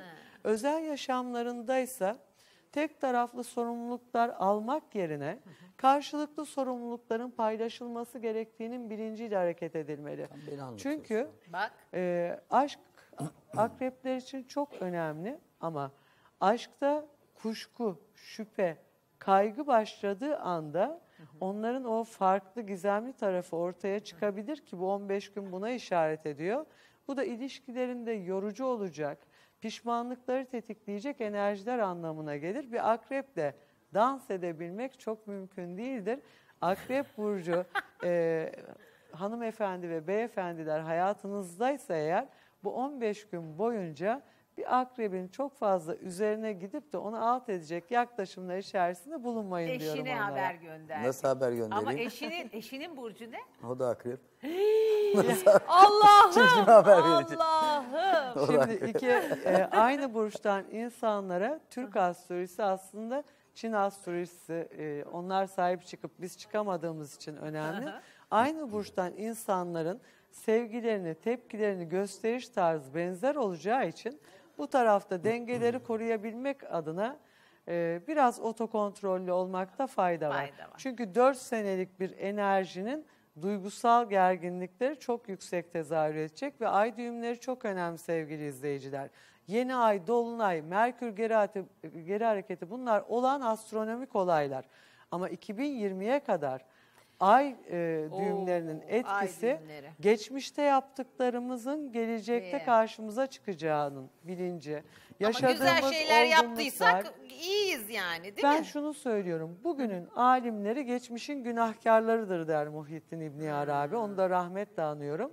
Yaptığımız hatalardan dersler çıkartmak, yanlış insanları aman o üzülmesin, aman bunu kaybetmeyeyim diyerek kendi hissettiklerimizle kendimize ihanet etmemeliyiz. Çok Hazreti Mevlana diyor ya, kalbimize yolculuk etmemiz gereken bir 15 günlük döngü bizi karşılarken bu noktada kendimizi besleyelim, kendimizi sevelim. Çünkü kendini sevmeyen insan hiçbir şeyi sevemez, hiçbir şeye tahammül edemez. Bu noktada dikkat etmemiz gerekli. Yaylar çok kızıyorlar Sevgili eminim yaylar, şu anda. yaylar özellikle işte finansla ilgili konularda kendi yakınlarından gerek hukuki gerek mirasla ilgili konularda haksızlıklara uğradıkları noktalarda haklarını almaya başlayacakları enerjilerle karşı karşıyalar fakat merhamet duygularını kontrol altında tutsunlar. Unutmamalılar ki merhamet etmeyene merhamet edilmez. Kalplerini karartmadan hak istenmez alınır ilkesi ve iradesini ortaya koymaları gereken bir 15 gün söz konusu onlar için. İş değişikliği, yeni iş başlangıçları gibi konularda şanslı enerjiler söz konusu. Ama e, mucizeler değil, iyileşmelerle karşı karşıya kalacaklarını bilmeli. Sahip olduklarını daha iyi hale getirmek için mücadele etmeliler. Özel yaşamlarında kıskançlıklardan kaynaklı gerginlikler söz konusu olabilir. Özellikle arkadaşlarının, yakınlarının ilişkilerle ilgili konularda söylemlerini dikkate alıp kendi ilişkilerini başkalarıyla kıyaslamasınlar. Bekar yaylarda kalıcı beraberliklere adım atabilecekleri enerjileri iyi güzel. değerlendirsinler. Dilerim ki aşk bulsun. Oh, güzel. Ruhlarımız aşkla şifalanıyor çünkü. İnşallah. Sevgili oğlaklar zorlanacaklar. Özellikle iş hayatlarında e, ve hukuki konular, resmi dairelerle ilgili işlerde başkalarından kaynaklanan hatalardan dolayı mesleki anlamda zarar görüp itibarlarını etkileyecek durumlara karşı hassas enerjilerle karşı karşıyalar. Bu 15 gün boyunca işlerinin takibini doğru yapmalı. Finansal konularda geleceğine güvendikleri paralara itimat ederek sözler vermemeliler. Aksi takdirde güven kaybı ve ailenin haksız müdahaleleri onlar için yorucu olabilir ama özel yaşamlarında iş işten geçmeden seviyorlarsa, sevdiklerine inanıyorlarsa ilk adımı karşı taraftan gelmesini beklemeden aşka emek vermenin onları zayıf düşürmeyeceğinin bilinciyle hareket ederlerse Güzel. aşkta bir şeyler ellerinden kayıp gitmeden yeniden yapılanabilir. Aman ne Devam güzel. eden ilişkilerine resmiyet kazandırma kararı alabilirler bu 15 Oo, gün boyunca. Çok güzel. Kovalar için sağlıkla ilgili konularda hassasiyetler fazlasıyla önem taşımakta. Özellikle uzun süredir sağlık problemleri varsa önemsemeliler. Bu hafta kritik enerjiler, ani değişimler söz konusu olabilir. Amaç korkutmak değil, uyarmak, Uyarmak. gökyüzünün rehberliğinden faydalanmak Tabii ki. Kendi içlerinde mücadele duygusunu yitirmemeleri sağlıkla ilgili konularda bir şeyleri az da olsa aşılabilir kılacak onlar için. Kim dost, kim düşman, aile bireyleri, yakın çevreleriyle ilgili konularda maskelerin düşeceği enerjilerle karşı karşıyalar. Bir teşekkürle mutlu olabilecekken verdikleri emeklerin boşa gittiğini görmek onlar için üzücü olsa da erteledikleri pek çok şeyi gündemlerine almalarını sağlayacak yeni bir süreç kovaları karşılıyor. İş ve eğitim hayatınızda köklü değişikliklerden korkmak yerine adapte olursanız hayatın size sunduğu maddi manevi zenginliklerden olumlu bir şekilde faydalanırsınız diyorum onlara. Özel yaşamlarında ise güven sarsıcı durumlar söz konusu olabilir. Özellikle şüpheleri, kaygılarıyla ilgili konularda güçlü sezgilerine güvenerek hareket ederlerse zarar görmeden virgül noktalayıp ilişkilerinde zarar görmemeyi başarabilirler. Yeni bir ilişkiye adım atma noktasında aceleci olmasınlar. Duyguları, anlık kararlar onları yanıltabilir. Balık burçları da şanslı enerjilerle karşı karşıyalar. Özellikle bekledikleri, e, engellendikleri haberler iş ve içsel noktalarda bekledikleri gibi ilerleyebilir. Fakat onlara tavsiyem iş arkadaşlarıyla ilgili konularda başkalarının avukatlığına soyunmasınlar. Mücadeleleri kendi için olup kendilerini geliştirebilecekleri aktivitelere yönelip o e, saf duygularla yaşadıkları olumlu gelişmeleri herkesle paylaşmamaya dikkat etsinler. Çünkü bu anlamda enerji vampirleri balık burçlarının heveslerinin kursağında kalmalarına neden olabilir. Bu hafta önemli yatırımlar, bilmediği işlere yönelmek gibi durumlardan da uzak Aman durmalılar. anneciğim dikkat et. Hem erkek kardeşim hem annem balık. Öyle mi? Ee, özel yaşamlarında ise huzur hakim olmaya başlarken kendi değerlerine sahip çıkıp kendi doğrularıyla yanlış gördükleri şeylere yerinde müdahaleler yaparak pek çok krizin üstesinden gelebilirler. Uzun zamandır devam eden ilişkileri olan balık burçlarıyla yakınlarının da desteğini alarak ilişkilerine resmiyet kazandırma cesaretini ortaya koyacakları enerjilerle karşı karşıyalar Aa, bu hafta. Balık burçları için bu da güzel, tatlı oldu. Ay şahane, çok güzel oldu. O kadar da güzel böyle zamanı geniş geniş her burçla ilgilenerek e, tamamladık ki çok çok teşekkür ediyorum. teşekkür Artık ediyorum. biz pazara kadar bununla böyle bir dururuz yani. Ondan sonra tekrar yeni haftaya yeni bilgiler, Aynen yeni gökyüzü öyle. hareketleriyle. Çok çok teşekkür ben teşekkür ediyorum. ediyorum. Ağzınıza sağlık. Sağ olun. Teşekkür ederim. Sağ olun. Kilo veriyorsunuz ama ayna karşısında hala kendinizi beğenmiyorsunuz. Diyetisyen Berrin Yiğit bölgesel zayıflamanın sırlarını anlatıyor. Birazdan Nergis zamanında. Karıştırıyordum ha. Bak bak nasıl başında. Sedat yemeğinin ya görev duygusu işte bu arkadaşlar. Bu arada yani siz hemen görmediniz oradan bana böyle yapıyor. Ne durumda? Nasıl? Şaka Çünkü yapıyorsun. tabii sahiplendi yemeği çünkü. Aa Sedat helal olsun. E, o kadar işi boşuna yapmaz bir insan. Gerçekten sahipleniyorsa yapar Mutfağı zaten. seviyorum ben gerçekten. Ne kadar Evde güzel. mesela e, Sivaslıyım ama işte Diyarbakır tava, Mardin tava falan yapıyorum. Oğlum çok seviyor. Ay ne güzel, Onlara ne böyle. güzel. Severim yani Harika. mutfak keyifli. O zaman biz de bir gün öyle yöresellere artık Yapalım, haftaya falan bir yapalım. girelim biraz. Ve bir şey söyleyeyim mi? Çok gerçek bir şey var.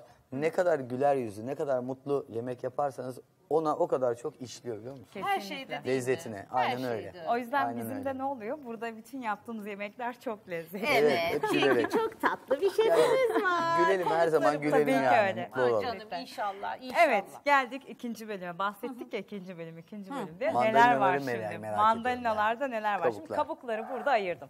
Önce Nergis ablaya şimdi bir görev veriyorum. Sonra Ne yapıyor çılgın bakayım Sedat'a da Nergis vereceğim abla? tabii. Ha, ne Nergis yapıyorum? abla bunları bana böyle böyle minik minik şöyle. Aa, yaparım şöyle ayol. parçala. Oo, Diğer istediğim olsun. Korktum Ama bak şimdi. ana. Ama bak şimdi hiç sormuyorsun. Unlu bir tepside niye özlem Bak böyle bir şey Bak. söyleyeceğim. Mozaik Ben pasta sadece gibi bir şeyler görevimi yapacağız? yaparım. Pasta Sen gibi bir anlat şey mi bakalım. Ne yapacağız onu? yapıyorum hiç anlamadım. Tatlı mı yapacağız? Ne Bak yapacağız? şimdi Sedat hemen tahminleri yürütüyor bu arada şu İçinde anda. şey var çünkü, Evet un ne var. yapıyoruz? Şimdi biz mandalina kabuklarını kurutacağız. Mandalina kabuğu cipsi mi yapıyoruz kız? Kurutacağız işte. Cips de Kurutacağız. yapacağız, salatada kullanacağız, yemekte kullanacağız. Salataların içine atacağız, kurabiyeleri atacağız. Bunların hepsini kurutacağım. Kuruttuktan sonra bir kavanoza böyle koyacağım. Ama kurutma işlemini yaparken özellikle yaş olan, kabukları yaş olan meyveleri hızlı kurutabilmemin bir yolu var. O yolu işte şimdi söyleyeceğim. Bir, kurutma işlemi yaparken mutlaka ve mutlaka Fırınınız fan ayarında ve 100 derecede ayarlı olacak. Öyle 160-180 derece sakın yakarsınız Fırın, fan ayarında Evet. ve, 100 derece. Bunu unutmayalım. Evet. Mandalina için geçerli, portakal için geçerli, hiç fark etmez. Elma için geçerli. Bu anlattıkların hepsi. Büyüklükleri doğru mu bu arada? Doğru doğru Ha, hiç tamam. sorun yok. Ben onların hepsini kurabiyelerde, keklerde kullanıyor olacağım. Onun dışında ne yapacağız? Şimdi onu unladım. Unlamamın da tek bir sebebi vardı daha hızlı kurusun diye. Unun o kuru yapısı var ya bu yaş olan tüm içindeki meyveleri daha hızlı kurutacak Nergis abla. Bir şey daha söylediniz Aslında ama dediniz ki belki mutfakta bir eee, ba- hani bir obje olarak bir şey Evet. olarak da kullanabilirim dediniz. kullanabilirim. Bak dedim. hiç Bak, unutmadı bak, bak. Sedat vallahi. Bak. Hiç yapmazsan yandın Peki. yani. O zaman onu da yapalım mı? Hadi abla? yapalım. Hani Şimdi bak mandalina'nın şöyle bende kabukları var. Gördünüz mü? İçlerini onları kap boşalttım. gibi yapmış ha. Kap yaptım onu. tamam. Evet. Sizce bundan ne çıkartabilirim ben? Şapka dermiş. Şey olabilir mesela kalıp olarak kullanabiliriz onları. Öyle mi? Kalıp. Kurutup kalıp olarak yapacağım? kullanabiliriz. Aa, zeytinyağı koyuyor kadın. Ay çok merak ettim ne yapıyor? Şimdi zeytinyağı koyuyorum bakın çok farklı bir şey bu. Ee? Bu bugüne kadar görmediğiniz bir sistem. dur bir dakika Şimdi- şunları da bırakmışsın. Dur dur bıraktım bak şimdi hemen anla burada bir şey var değil mi? Burada bir şey var. Mum mu Şimdi, yapacağız? Evet mum yapacağız. Aa. Aynen öyle. Şimdi bakın nasıl yakıyorum ben Güzel bu güzel. kokar evet. ha. Hem güzel kokacak hem de aynı zamanda da çok farklı bir şey olacak. Şimdi şöyle mandalinaları soyduktan sonra üzerinde böyle fitilleri vardı. İyice Kendi- yanması kendi lazım. fitil değil mi o normal? Kendi fitili. Hiçbir şekilde Ha, fitil yani yok. bir şey koymadık. Mandalinanın içindeki o hani şey var ya tozu var. Evet. Böyle bir fitil vardı. Evet. O fitil bakın şimdi üstünde şöyle yaptım. üstünü de Bak hazırla- kapağını da yaptım. Ay çok şık, çok Hiç tatlı. aklınıza gelir miydi? Kız ne güzel de kokuyor. Ve mis gibi kokuyor. Bunun aynısına mandalina değil Yağ portakaldan mı yanıyor greyfurt- peki? Evet yağ yanıyor. Allah Allah. Zeytinyağı koyuyorsunuz. Bir de zeytinyağını tatlandırmak istiyorsanız böyle bir e, tarçın aroması olsun Aa, derseniz güzel şayet olur ha. içerisine zeytinyağınızın tarçın koyun. O da mis gibi koksun. Yani bana param Karanfil de yok demeyin koyabilirsiniz ya. Bana param yok demeyin. Nergis abla. Gerçekten. Bak neler yapıyor. Karanfil de atabilirsiniz. Karanfil zaman. atabilirsiniz. Ya karanfil Tarçın kokacak, ya şey atabilirsiniz. İstediğinizi atabilirsiniz. Enteresan Bakın bu değil böyle saatlerce yanar. Ben şok. Vallahi şoka girdim. Çok, Çok. güzel. Saatlerce şöyle de yanıyor. Yanar evet, değil mi? saatlerce yanar. Zeytinyağı bitene kadar yanar. Çünkü zeytinyağı bu arada çok çabuk portakal ve mandalina kabukları çok çabuk çekiyor. Ama ilave edin fitile de yağ mutlaka değsin yoksa yanmaz haberiniz olsun. Sonra bana yanmadı demeyin. Fitil yağlanacak yani. Ha, fitili de Zeytinyağı yanan aslında. Bu arada mandalinanın içi ve dışı. Şimdi güzel. bunları Çok söyleyeyim. güzelmiş. Değil mi? Güzel. Kızlar çok da romantik olur ha. Şimdi kafanızda geliştirin yani neler Evet yapabiliriz. şimdi artık geliştirmek Greyfurt sizde. yaparsanız daha büyük Tabii. olur işte falan. Aynen öyle. Tabii onları gittikçe şey yapabiliriz. Çok Geliştirebilirsiniz. haklısın. Bravo. Şimdi diğer taraftan onların hemen püf noktalarını yine vermeye devam edeceğim. Ama bu arada ben şöyle bir tatlı hazırlayacağım. Mandalina tatlısı. Bugüne kadar çok fazla evlerimizde yapılmıyor. Niye yapılmıyor biliyor musunuz? Çünkü genelde mandalinanın acı kabuğu var ya, herkes o acı kabuktan çok korkuyor. Aman korkmayın, onun yolu çok basit. Sadece mandalinayı kullanacaksanız mümkünse 6 saat, 10 saat önce başlayın hazırlamaya. Ha. Ben ne yaptım? Bu su üçüncü suyu. Bakın hala sarı bir su var. Dünden beri sağ olsun Alvinacığım evinde bunları sula, suya koyuyor, getiriyor, suya koyuyor, getiriyor. Şimdi bu üçüncü kez suyu mandalinanın. Ne yapıyoruz? Mandalinanın üzerlerini rendele, rendeyle hafif böyle beyaz kabukları gelmeyecek şekilde rendeliyoruz. Hani kek için limonu Evet. yaparız ya kabuğunu gibi. Evet, aynen öyle. Rendeledikten sonra bir kürdan yardımıyla 4-5 tane delik açtım ben mandalinalara. Neden o deliği açtım? O beyaz kısımlarının ağır tadı vardır ya acı tadı. Evet. O acı tadı gitsin diye yaptım bunu. Şimdi onları rendeledikten sonra bakın şöyle her birini ortadan ikiye böleceğim. Ama şurada şu kenarlar var ya bunları da atmayacağım. Bunları da kurutacağım yine. Fırın tepsisine atacağım. Yani mandalina, portakal ne varsa narenciye evde hiçbirini atmayın. Her Bunu- şeyden faydalanın. Bunu Evet. altın suyuna bandırıp altın kolye Evet. evet.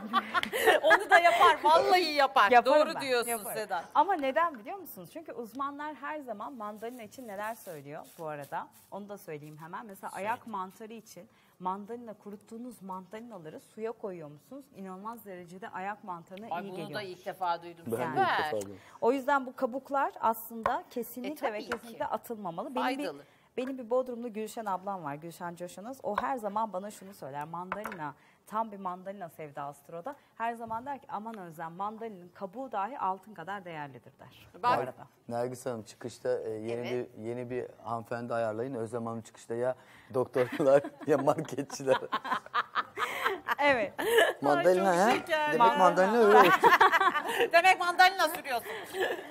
Evet. Evet. Şimdi ne yapıyoruz? Hızlandırıyoruz. Öncelikle evet öncelikle hızlanıyoruz tabii yine çok Hızlanıyoruz. anlattım. Evet. Şimdi ne yapıyoruz? Şekeri koydum. Siz şeker miktarını kendi isteğinize göre ayarlayabilirsiniz. Mandalinaları ortadan ikiye kestim. Yaklaşık üç kere suyunu güzel. değiştirdim. Burada Acılığı önemli gitti. bir şey sorabilir miyim? Tabii buyurun. Peki biz hani normalde şekerden uzak durmaya çalışıyoruz. Evet, balla da Peki yapabiliriz. bunu şekerden uzak durmak amaçlı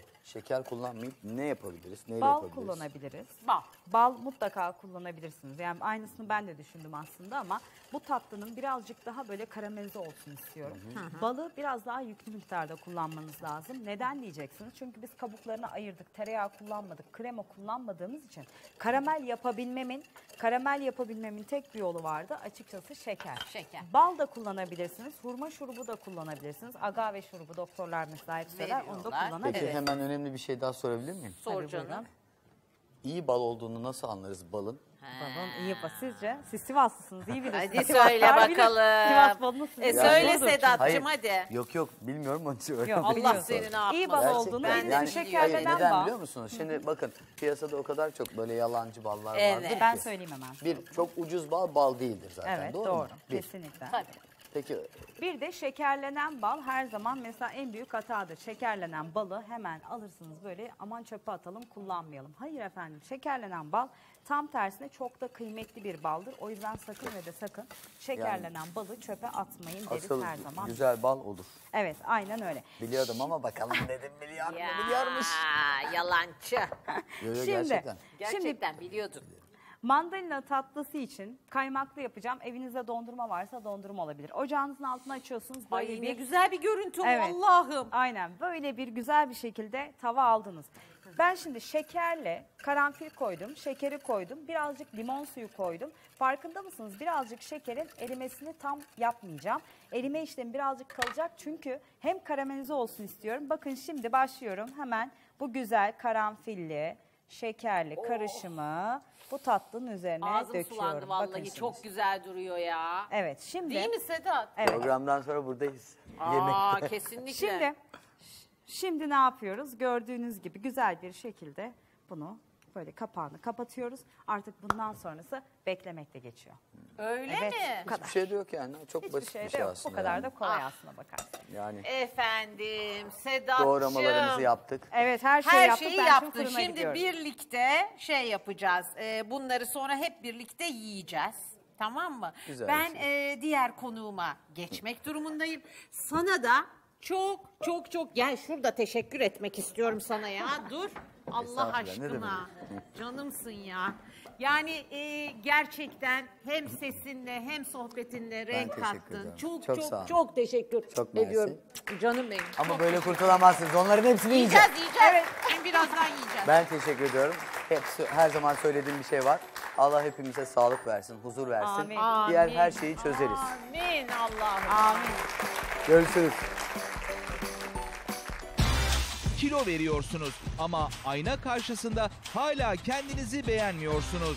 Diyetisyen Berrin Yiğit bölgesel zayıflamanın sırlarını anlatıyor. Birazdan Nergis zamanında.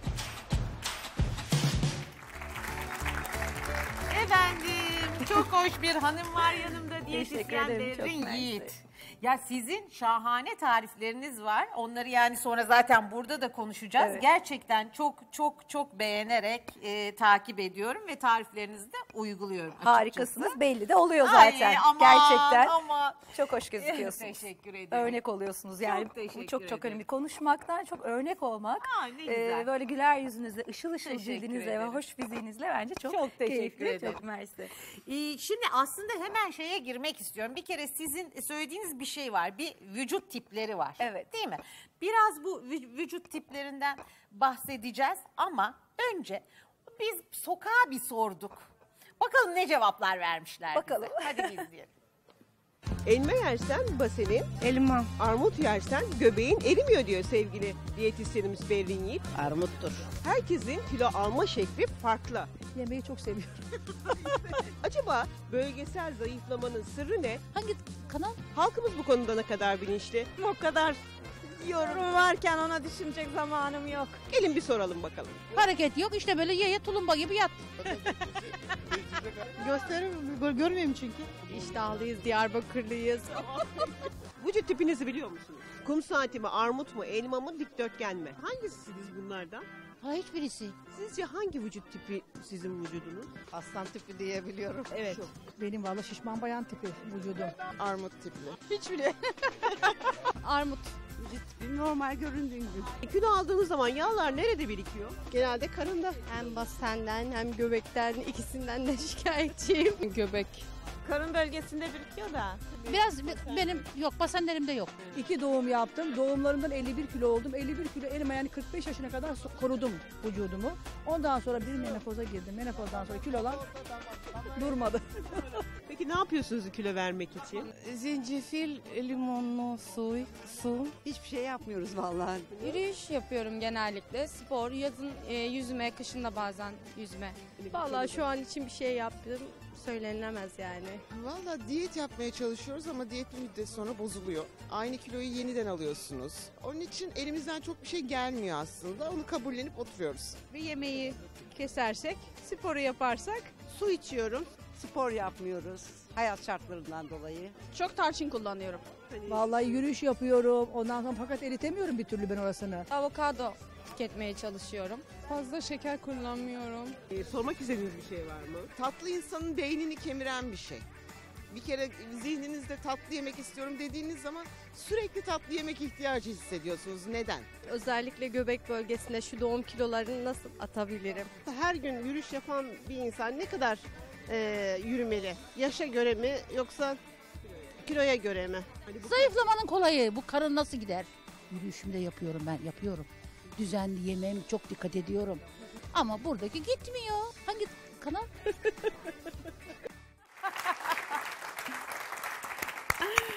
çok tatlı. Ben de alkışlamak istedim. Gerçekten süper bilgiler, harika bir Çok röportaj güzel olmuş. cevaplar da var Kesinlikle. yani aralarında öyle değil mi? Güzel yani aslında bir bilinçlenme başlamış. Ama hani bu bir armuttur, elmadır, bir manav gibi gidiyor vücut ne oluyor, ne bitiyor? Bununla ilgili birazcık bilgi alabilir miyiz Tabii biz? ki, Hani şunu da şöyle koydum ben. Ee, şimdi e, zaten söylemişler çok güzel. Biz Türk toplumu olarak hareket etmiyoruz. Çok seviyoruz yemek yemeyi ve demiş ya hani o şeker beyni kemiriyor. O tatlı krizleri vesaire Oh. geldiği zaman da ne oluyor? İşte vücutta yağlanma başlıyor. Şimdi vücutumuzun dört tipi arasında bizim en çok gördüğümüz aslında elma tipi. Yani karın ve bel çevresinde e, yağların toplandığı elma tipi daha çok görüyoruz. Şimdi şöyle bir tek tek isimleri söyleyebilir miyiz burada? Şimdi? Tabii ki. Şimdi bizim elma dediğimiz karın ve bel çevresinde erkek tipi bir yağlanma olan Türkiye'de kadınlarda en çok görülen. Armut da daha böyle ince bir bel ama belin hemen basenlere kadar altı e, saran armut Evet. tipi. Bu ikisi en çok görünen. Ha, en çok elma ile armut En var. çok el. İkincisi kum saati. Daha omuzlar ve basenler geniş, bel ince. Bir de gazete tipi dediğimiz ya da dikdörtgen dediğimiz, cetvel, muz dediğimiz artık bütün kitlenin büyüdüğü, yağlanmanın bütün neredeyse üst baseni ve altı sardığı e, Hatta tümü. o böyle bir dikdörtgen gibi oluyor. Dikdörtgen Değil gibi mi? oluyor, gazete kağıdı Ha. gibi oluyor. Ama bizim bunlar arasında elma tipte en sevmediğimiz şey bütün organların olduğu karın ve bel çevresini sardığı için sıkıntı. Şeker hastalığı, kalp damar hastalıkları, tansiyon gibi problemlerin en çok arttığı, o kafasından tatlıyı, hamur işi krizini atamayan kişilerin en çok yaşadığı problem elmada. Yani Şimdi- bizlerin, hepimizin değil mi? Yani biz, yani biz böyleyiz bilmiyorum. toplumunun- Burada hep konuşuyorum hanımlarla hepimiz aynıyız. Aynen öyle. Şimdi şurada e, aslında kadınlarımız daha armut tipi olabiliyor. Erkeklerimiz elmaydı eskiden ama artık maalesef hızlı yaşamlar, dışarıda çok yemekler, hareketsizlik derken elmaların da sayısı çok arttı. Şimdi neden böyle oluyor? Ben her noktada şuna gitmek istiyorum. Neden? Yani sebep ve sonuç ilişkisine Neden? bakmamız gerekiyor.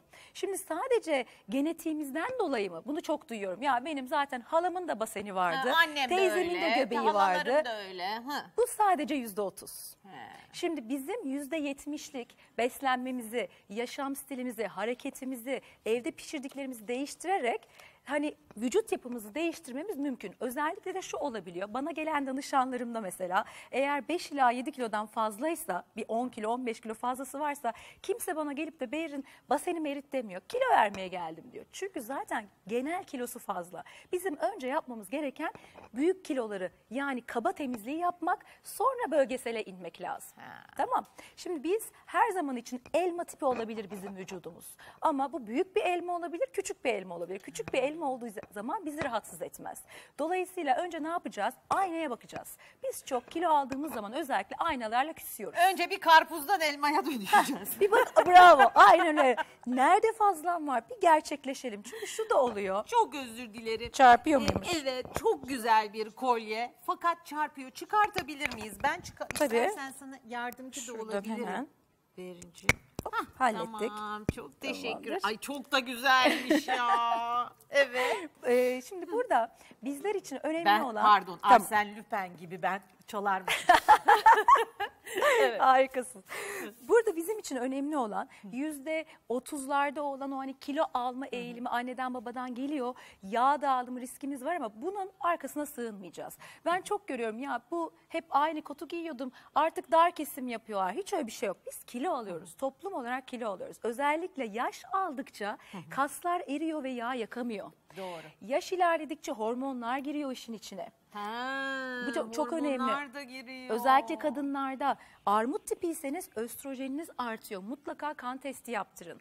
İnsülin direnciniz olabilir, şekeriniz dengesiz olabilir, karaciğeriniz yağlı olabilir, karnınız yağlı. O Bunların yüzden hepsine hepin, hepsine baktırmak lazım. Önce bir sebebine gitmemiz lazım. Bu arada çok güzel rengarenk harika. Bir taraftan hani e, hem konuşup hem de neler yapabiliriz diye geçelim mi böyle Geçebiliriz. hemen? Şimdi burada hepimizin aslında bütün vücut tiplerinin elma da olabilirsin, armut da olabilirsin fark etmiyor. Hepimizin yapması gereken daha çok sebze tüketeceğiz. Şimdi bir kere biz o en büyük halimizden önce bir kendimizi biraz toparlayacağız. Elmamıza, armudumuza bir döneceğiz. Döneceğiz. Ondan sonra neler Bunun yapacağız? olması için Hepimiz eğer elma tipiysek biz yağsız proteinleri yani eti, balığı, tavuğu, yumurtayı neyse daha az yağlı yemeye çalışacağız bir kere. kere. Ve elma isek bire bir oranında yani ben bu kadar et yiyorsam bu kadar sebze yiyeceğim. Tamam ama armutsam bir et yiyorsam üç sebze yiyeceğim. Ha, şimdi elmaysak birebir. Bu, bu kadar etse bu kadar sebze. Ama armutsak eğer bu kadar etse üç tane Üç sebze. katı kadar sebze Bu tüketeceğiz. kadar işte başka e, e, ne? Et, balık, tavuk Balık, ha, olabilir ne tavuksa buluyorsak. yanına yine o Üç Ha. katı. Ama şimdi burada şu soru geliyor. Hani tamam da nasıl yiyeceğiz? Yani ben Nasıl? sebze sevmiyorum. Salata yediğimde karnım şişiyor, tadını sevmiyorum diyenler için renkli, bu mevsimde rahatlıkla her yerde bulacağımız bir çiğ salata yapacağız. Ee, bunu ben kısıra da benzetiyorum. Günleriniz için de çok keyifli bir alternatif olabilir. güzele benziyor. Hepsi bizler için önden hazırlandı. Şimdi kasemiz bakın isteyenler bunun hepsini de yiyebilirler. Oo, tamam mı? yaşasın. Limitlerimiz de çok. Ben böyle küçük bir oran hazırlamak istiyorum. Burada yarım kase kadar yapacağım ki burada daha Şimdi rahat bu e, olsun. Rendelenmiş çiğ havuç. Çiğ, rendelenmiş böyle küçük küçük çok güzel duruyor havuç. Robottan geçirdik. Mis gibi kokmuyor mu? Ay şahane Lahana, kokuyor. beyaz lahana. Aa bir de bu gerçekten kısır gibi görüntüsü var. Bunları robotta mı böyle Robotta yapıyorsun? geçiriyorsunuz. Çok güzel. Pirinç tanesi gibi oluyor. Mor lahanayı da kullanıyorum. Özellikle elma tipinde sorun olanlar gitsinler sebzelerin en koyu renklerini, en parlak renklerini alsınlar. Mor lahana elma tipi olanlarda müthiş işe yarar. Biz böyle turşusunu az Görüntüsü kullanıyoruz. bile e, çok güzel iştah açıyor. Kesinlikle. Brokoli geldi. Gene çiğden robotta çekiyorum. Brokoliye bakın. Yeşiller size enerji verir. Yani vücudunuz şunu söyler.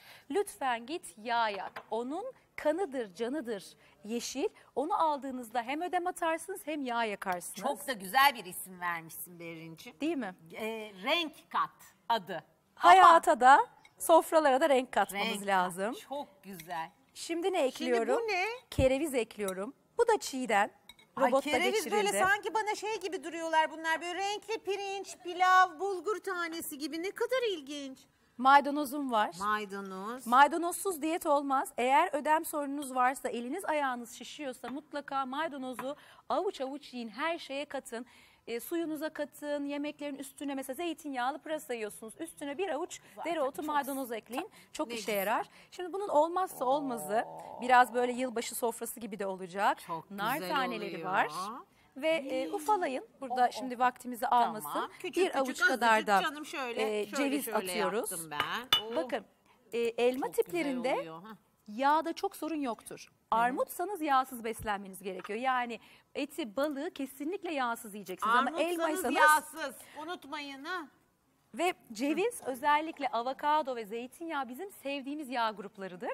Dolayısıyla Hmm. bunları da salataya eklediğimde biraz tabii ki 2 yemek kaşığı, 3 yemek kaşığı koyabilirsiniz. E, güzelmiş. Zeytinyağı İki yemek var. kaşığı zeytinyağı güzel kızlar. Ne diyorsunuz? Limonum var.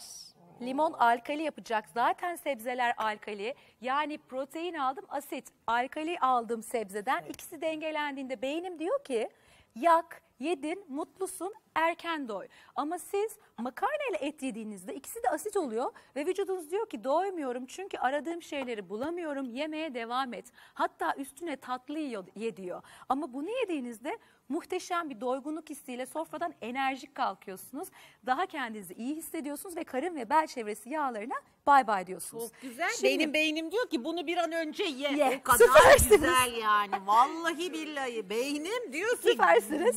yumul Nergis diyor. Şimdi bakın bunu e, mandalina günlerinizmiş. Buna bir tane mandalina da sıktığınızda ya da nar ekşisi eklediğinizde tatlıyı da alacaksınız. Dolayısıyla bunun hepsini yemek mümkün değil tabii ki ama istiyorsanız yiyebilirsiniz. Sebzede kum saatlerine de sesleniyorum. Sebze limitsizdir. Mutlaka bir öğününüz muhakkak sebze yanında yoğurtla birlikte eşlik ederse müthiş yağ yakarsınız. Kızlar gerçekten çok güzel.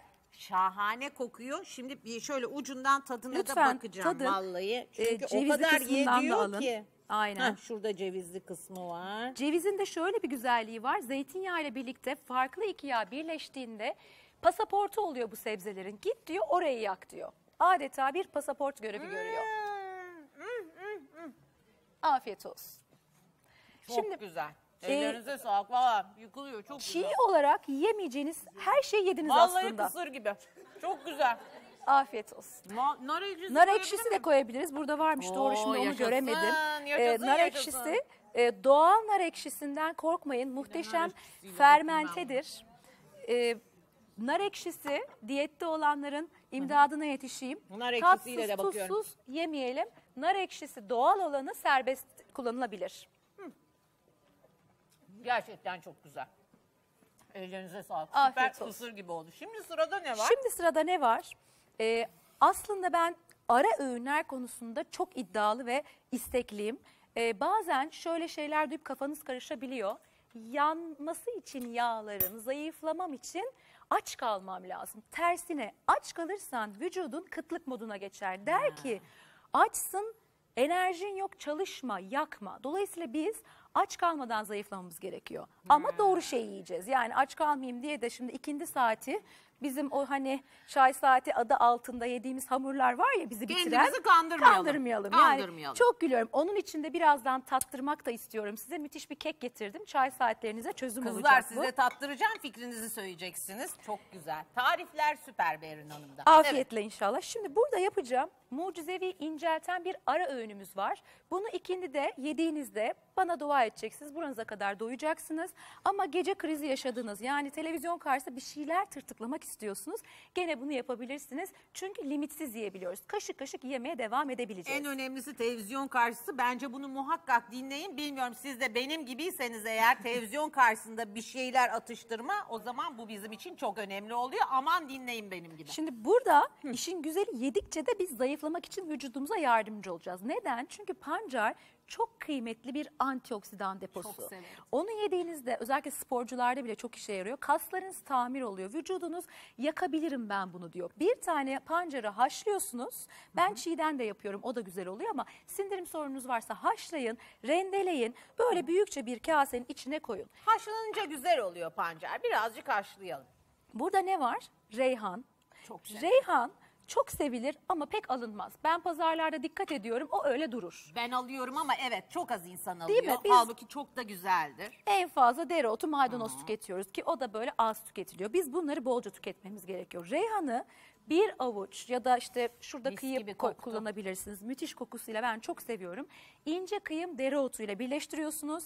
Dereotu doğanın bize sunduğu en iyi En tokluk şey. sağlayan yeşilliktir. Çok güzel. Şimdi dereotunun görevi tokluktur. Maydanozun görevi ödem atmaktır. Hmm. Şimdi burada çok kilit bir şey var. Yağları yakıyorum. Atmadıktan sonra hiçbir anlamı yok. Hmm. Dolayısıyla biz maydanozu bol tüketerek vücudun yaktıklarını at sinyaline Atsın destek olacağız. diye. Maydanozu da ekliyorum. Bakın büyük büyük birer kase Çok ekliyorum. güzel. Bayağı bol bol koyuyorsunuz. Nane ekliyorum. Bütün yeşilliklerim var ve bir kase dolusu yoğurtla karıştırıyorum. Oo güzel oldu. Bu da çok güzel. Şimdi burada şöyle bir şey var. Bizim hem gözümüzü tatmin ediyor bu Miktar tarifler. olarak da, aynen öyle, renk hem olarak da. görüntü olarak zevkimize hoş geliyor. Tadı da gerçekten şimdi bu kadar güzel şeyleri koyunca tadı da çok güzel oluyor yani. Kesinlikle. Şimdi buna isteyenler Beyrin ben bir tık daha iyilik katmak istiyorum diyorsanız Joker bir bilgi daha geliyor. Eğer siz yoğurdun içerisine biraz limon eklerseniz alkali gücünü arttırırsınız. Alkaliler her zaman vücudun daha iyi yağ yakmasına destek olur. Eğer baharat eklerseniz pul biber, zerdeçal, çok önemli. Zencefil, sumak.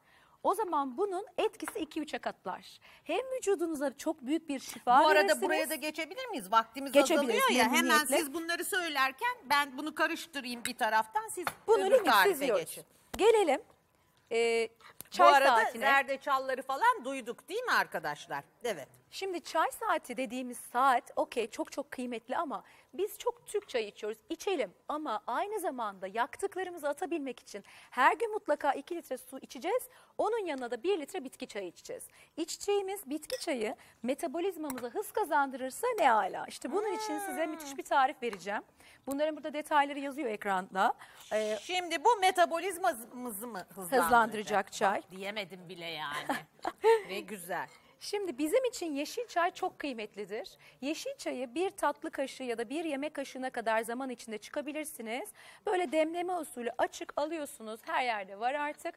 Ekliyorsunuz ama yanına mate koymak şartıyla. Ha, mate. Mate çok e, galiba iştah için çok iyi değil mi? Mate Biraz eski e, avcı toplayıcı dönemde insanlar ava çıkarken uzun süre açık böyle dinamik kalmak ve tok kalmak için kullandıkları bir çaymış. Yani diyet yaparken kendinizi enerjik hissedersiniz, tok kalırsınız ve konsantrasyonunuz düşmez. Şahane. Bunun Başka? dışında biberiye, e, funda yaprağı ekliyorum. Funda yaprağı biberiye gibi aynı zamanda müthiş bir ödem atıcıdır. Yani ben metabolizmamı hızlandırırken ödemi de atmak istiyorum.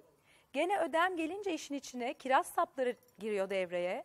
Bunu Çok yazdan iyi. kuruttuğunuz kiraz saplarınız varsa 15 adet ekliyorsunuz. çok iyi. Aroma katmak çok çok önemli ama kan şekerini dengelemek daha önemli. Bir Olmazsa çubuk tarçın olmaz. destek Ne oluyor. güzel. Karanfil bu işin daha da alevlenmesini, hızlanmasını sağlıyor. Tabii ki tadı da güzel olsun diye Hmm. Diye. kuru veya taze elmalarımı ekliyorum. E bu şahane bir şey oldu. 1 litre de üzerine su ekleyip Suyu da koyuyoruz 5 efendim. dakika demletiyorum. Daha Beş fazla dakika değil. Sonra süzür e, artık onu süzülmesi için e, French press'in baskısını kapatacağız ve gün boyu içeceğiz. Sıcak veya soğuk fark etmez Şahane. ama çok önemli bir bilgi. Daha iyi olsun diye bu bitkileri daha fazla koymayacağız. Daha uzun demlemeyeceğiz ve tekrar tekrar kaynatmayacağız. Demlenen çayı bu haliyle içeceğiz. Tüketeceğiz. Soğursa sıcak su ekleyebilirler. Tamam. Tamam. güzel. Gün Şimdi- içine yayacağız. Bu da çok güzel oldu. Bunun dışında eğer ki karın ve bel çevresinde ve basenlerinizde bir yağlanmanız söz konusuysa sizin dolaşımınız yavaştır. Dolayısıyla ikindi de çok güzel bir e, demin size verdiğim yoğurdu yediniz ama bunun bir alternatifi çok keyifli bir süt de hazırlayabilirler kendilerine. Bir bardak süt. Niye süt ve yoğurdun üstünde bu kadar duruyorum? Çünkü biz kalsiyum kaynağı süt ürünlerini tükettiğimiz zaman karın ve bel çevresi daha iyi yağ yakıyor. Tamam ve biz süt tüketmeyen bir toplumuz. Lütfen biraz daha çok süt tüketelim. Ama sütü böyle mi içeceğim? Hayır. Etkisini arttıracağım. İçine mutlaka Burada gördüğünüz gibi top karabiber koyacağım 3-4 tane. Tadını kötüleştirmiyor. Rendelenmiş veya kıyılmış zencefil ekleyeceğim. Şöyle küçük bir parmağımız kadar. Bunları 2-3 dakika böyle bir süt fokurdayana kadar kaynatacağım. Ha, biz bunu şeyde yani Cezvede. cezveye koyacağız. Ondan sonra içine biberimizi koyacağız, zencefilimizi koyacağız, koyacağız. taze. Sonra, Sonra? onu süzeceğiz. İçine bir çay kaşığı kaliteli iyi bir bal ekleyeceğiz muhakkak. Tarçın ekleyeceğiz. Bir tatlı kaşığına kadar çıkabilirsiniz ve bayılacaksınız tadına. Bir çay kaşığı kadar da zerdeçalın iltihap çözücü özelliğinden faydalanacağız.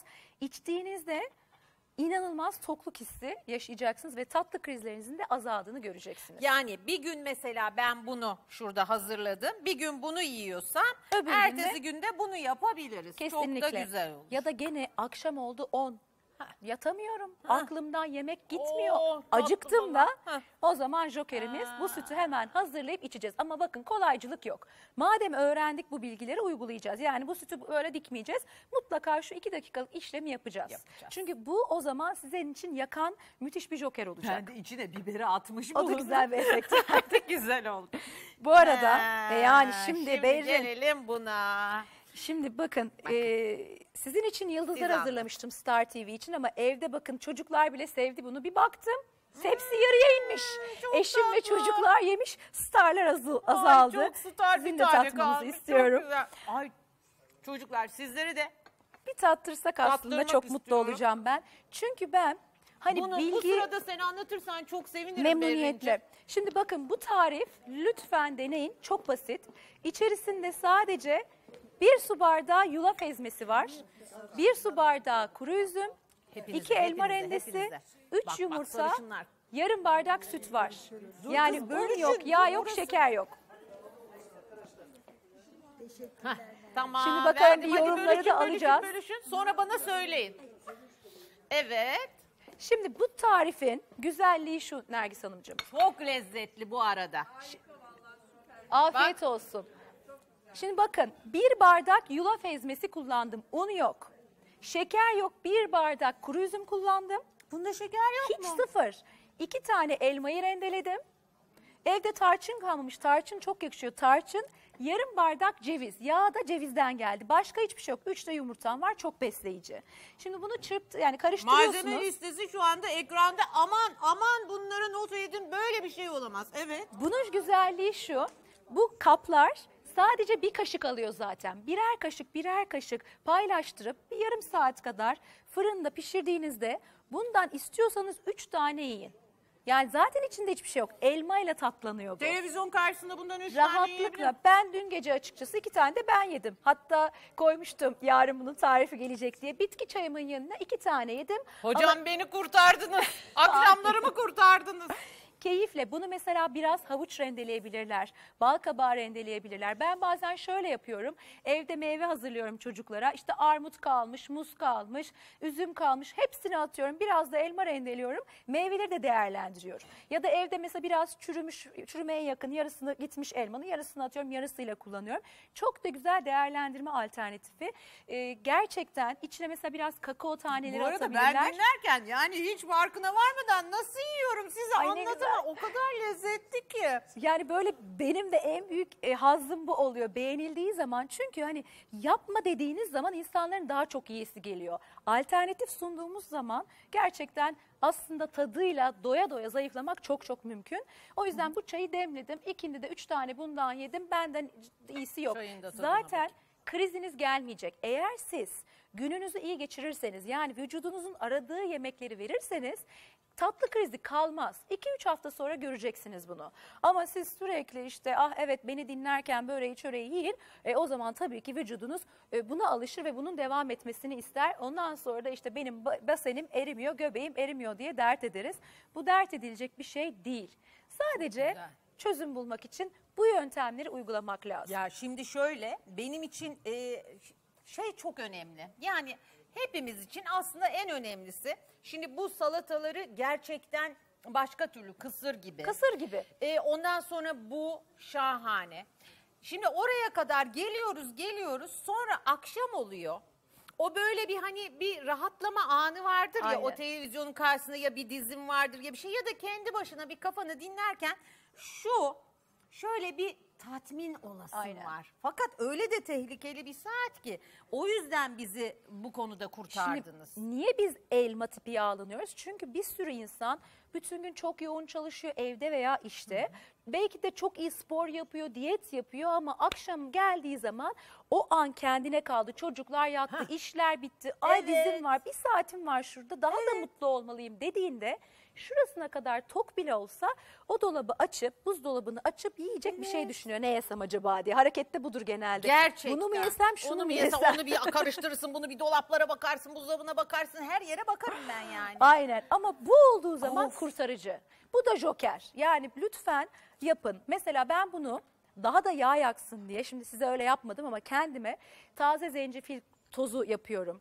Biraz zerdeçal koyuyorum. Biraz Ha, tarçını içine çok. azıcık. O zaman e, o zaman vücuduma da böyle çaktırmadan ısıtıyorum. Yağ yakması için gece yatarken de böyle bir destek oluyorum. Yani vücudumuza şahane. kendimizi seviyorsak iyi bakmak zorundayız. Bunun Şimdi. mükafatı geliyor çünkü başka türlü. Çok çok çok teşekkür ediyorum. teşekkür Hepsi ediyorum. birbirinden hem manzarası, görüntüsü güzel hem lezzeti güzel. Çok çok teşekkür Ben ediyorum. teşekkür efendim. ederim.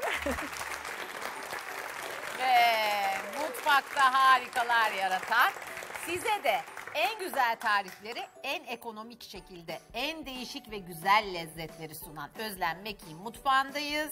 Ve bu Ve- nedir ya bir mandalinadan neler yaptı görüyorsunuz değil mi arkadaşlar pazara gidiyorsunuz mandalina alıyorsunuz havuç kereviz alıyorsunuz Ayva koyuyoruz. Ayva Ayva alıyorsunuz. koymak zorunda değilsiniz tabii. Ay, Patates de koysunlar koyabilirler. ayol, koysunlar, izleyicilerimiz güzel ama hiç olur. fark etmez. çok Zamanı, lezzetli oluyor. ucuz da. Hemen biraz tadına bakmak Hadi, istiyorsun değil mi hemen. Nergis abla? Bak şimdi.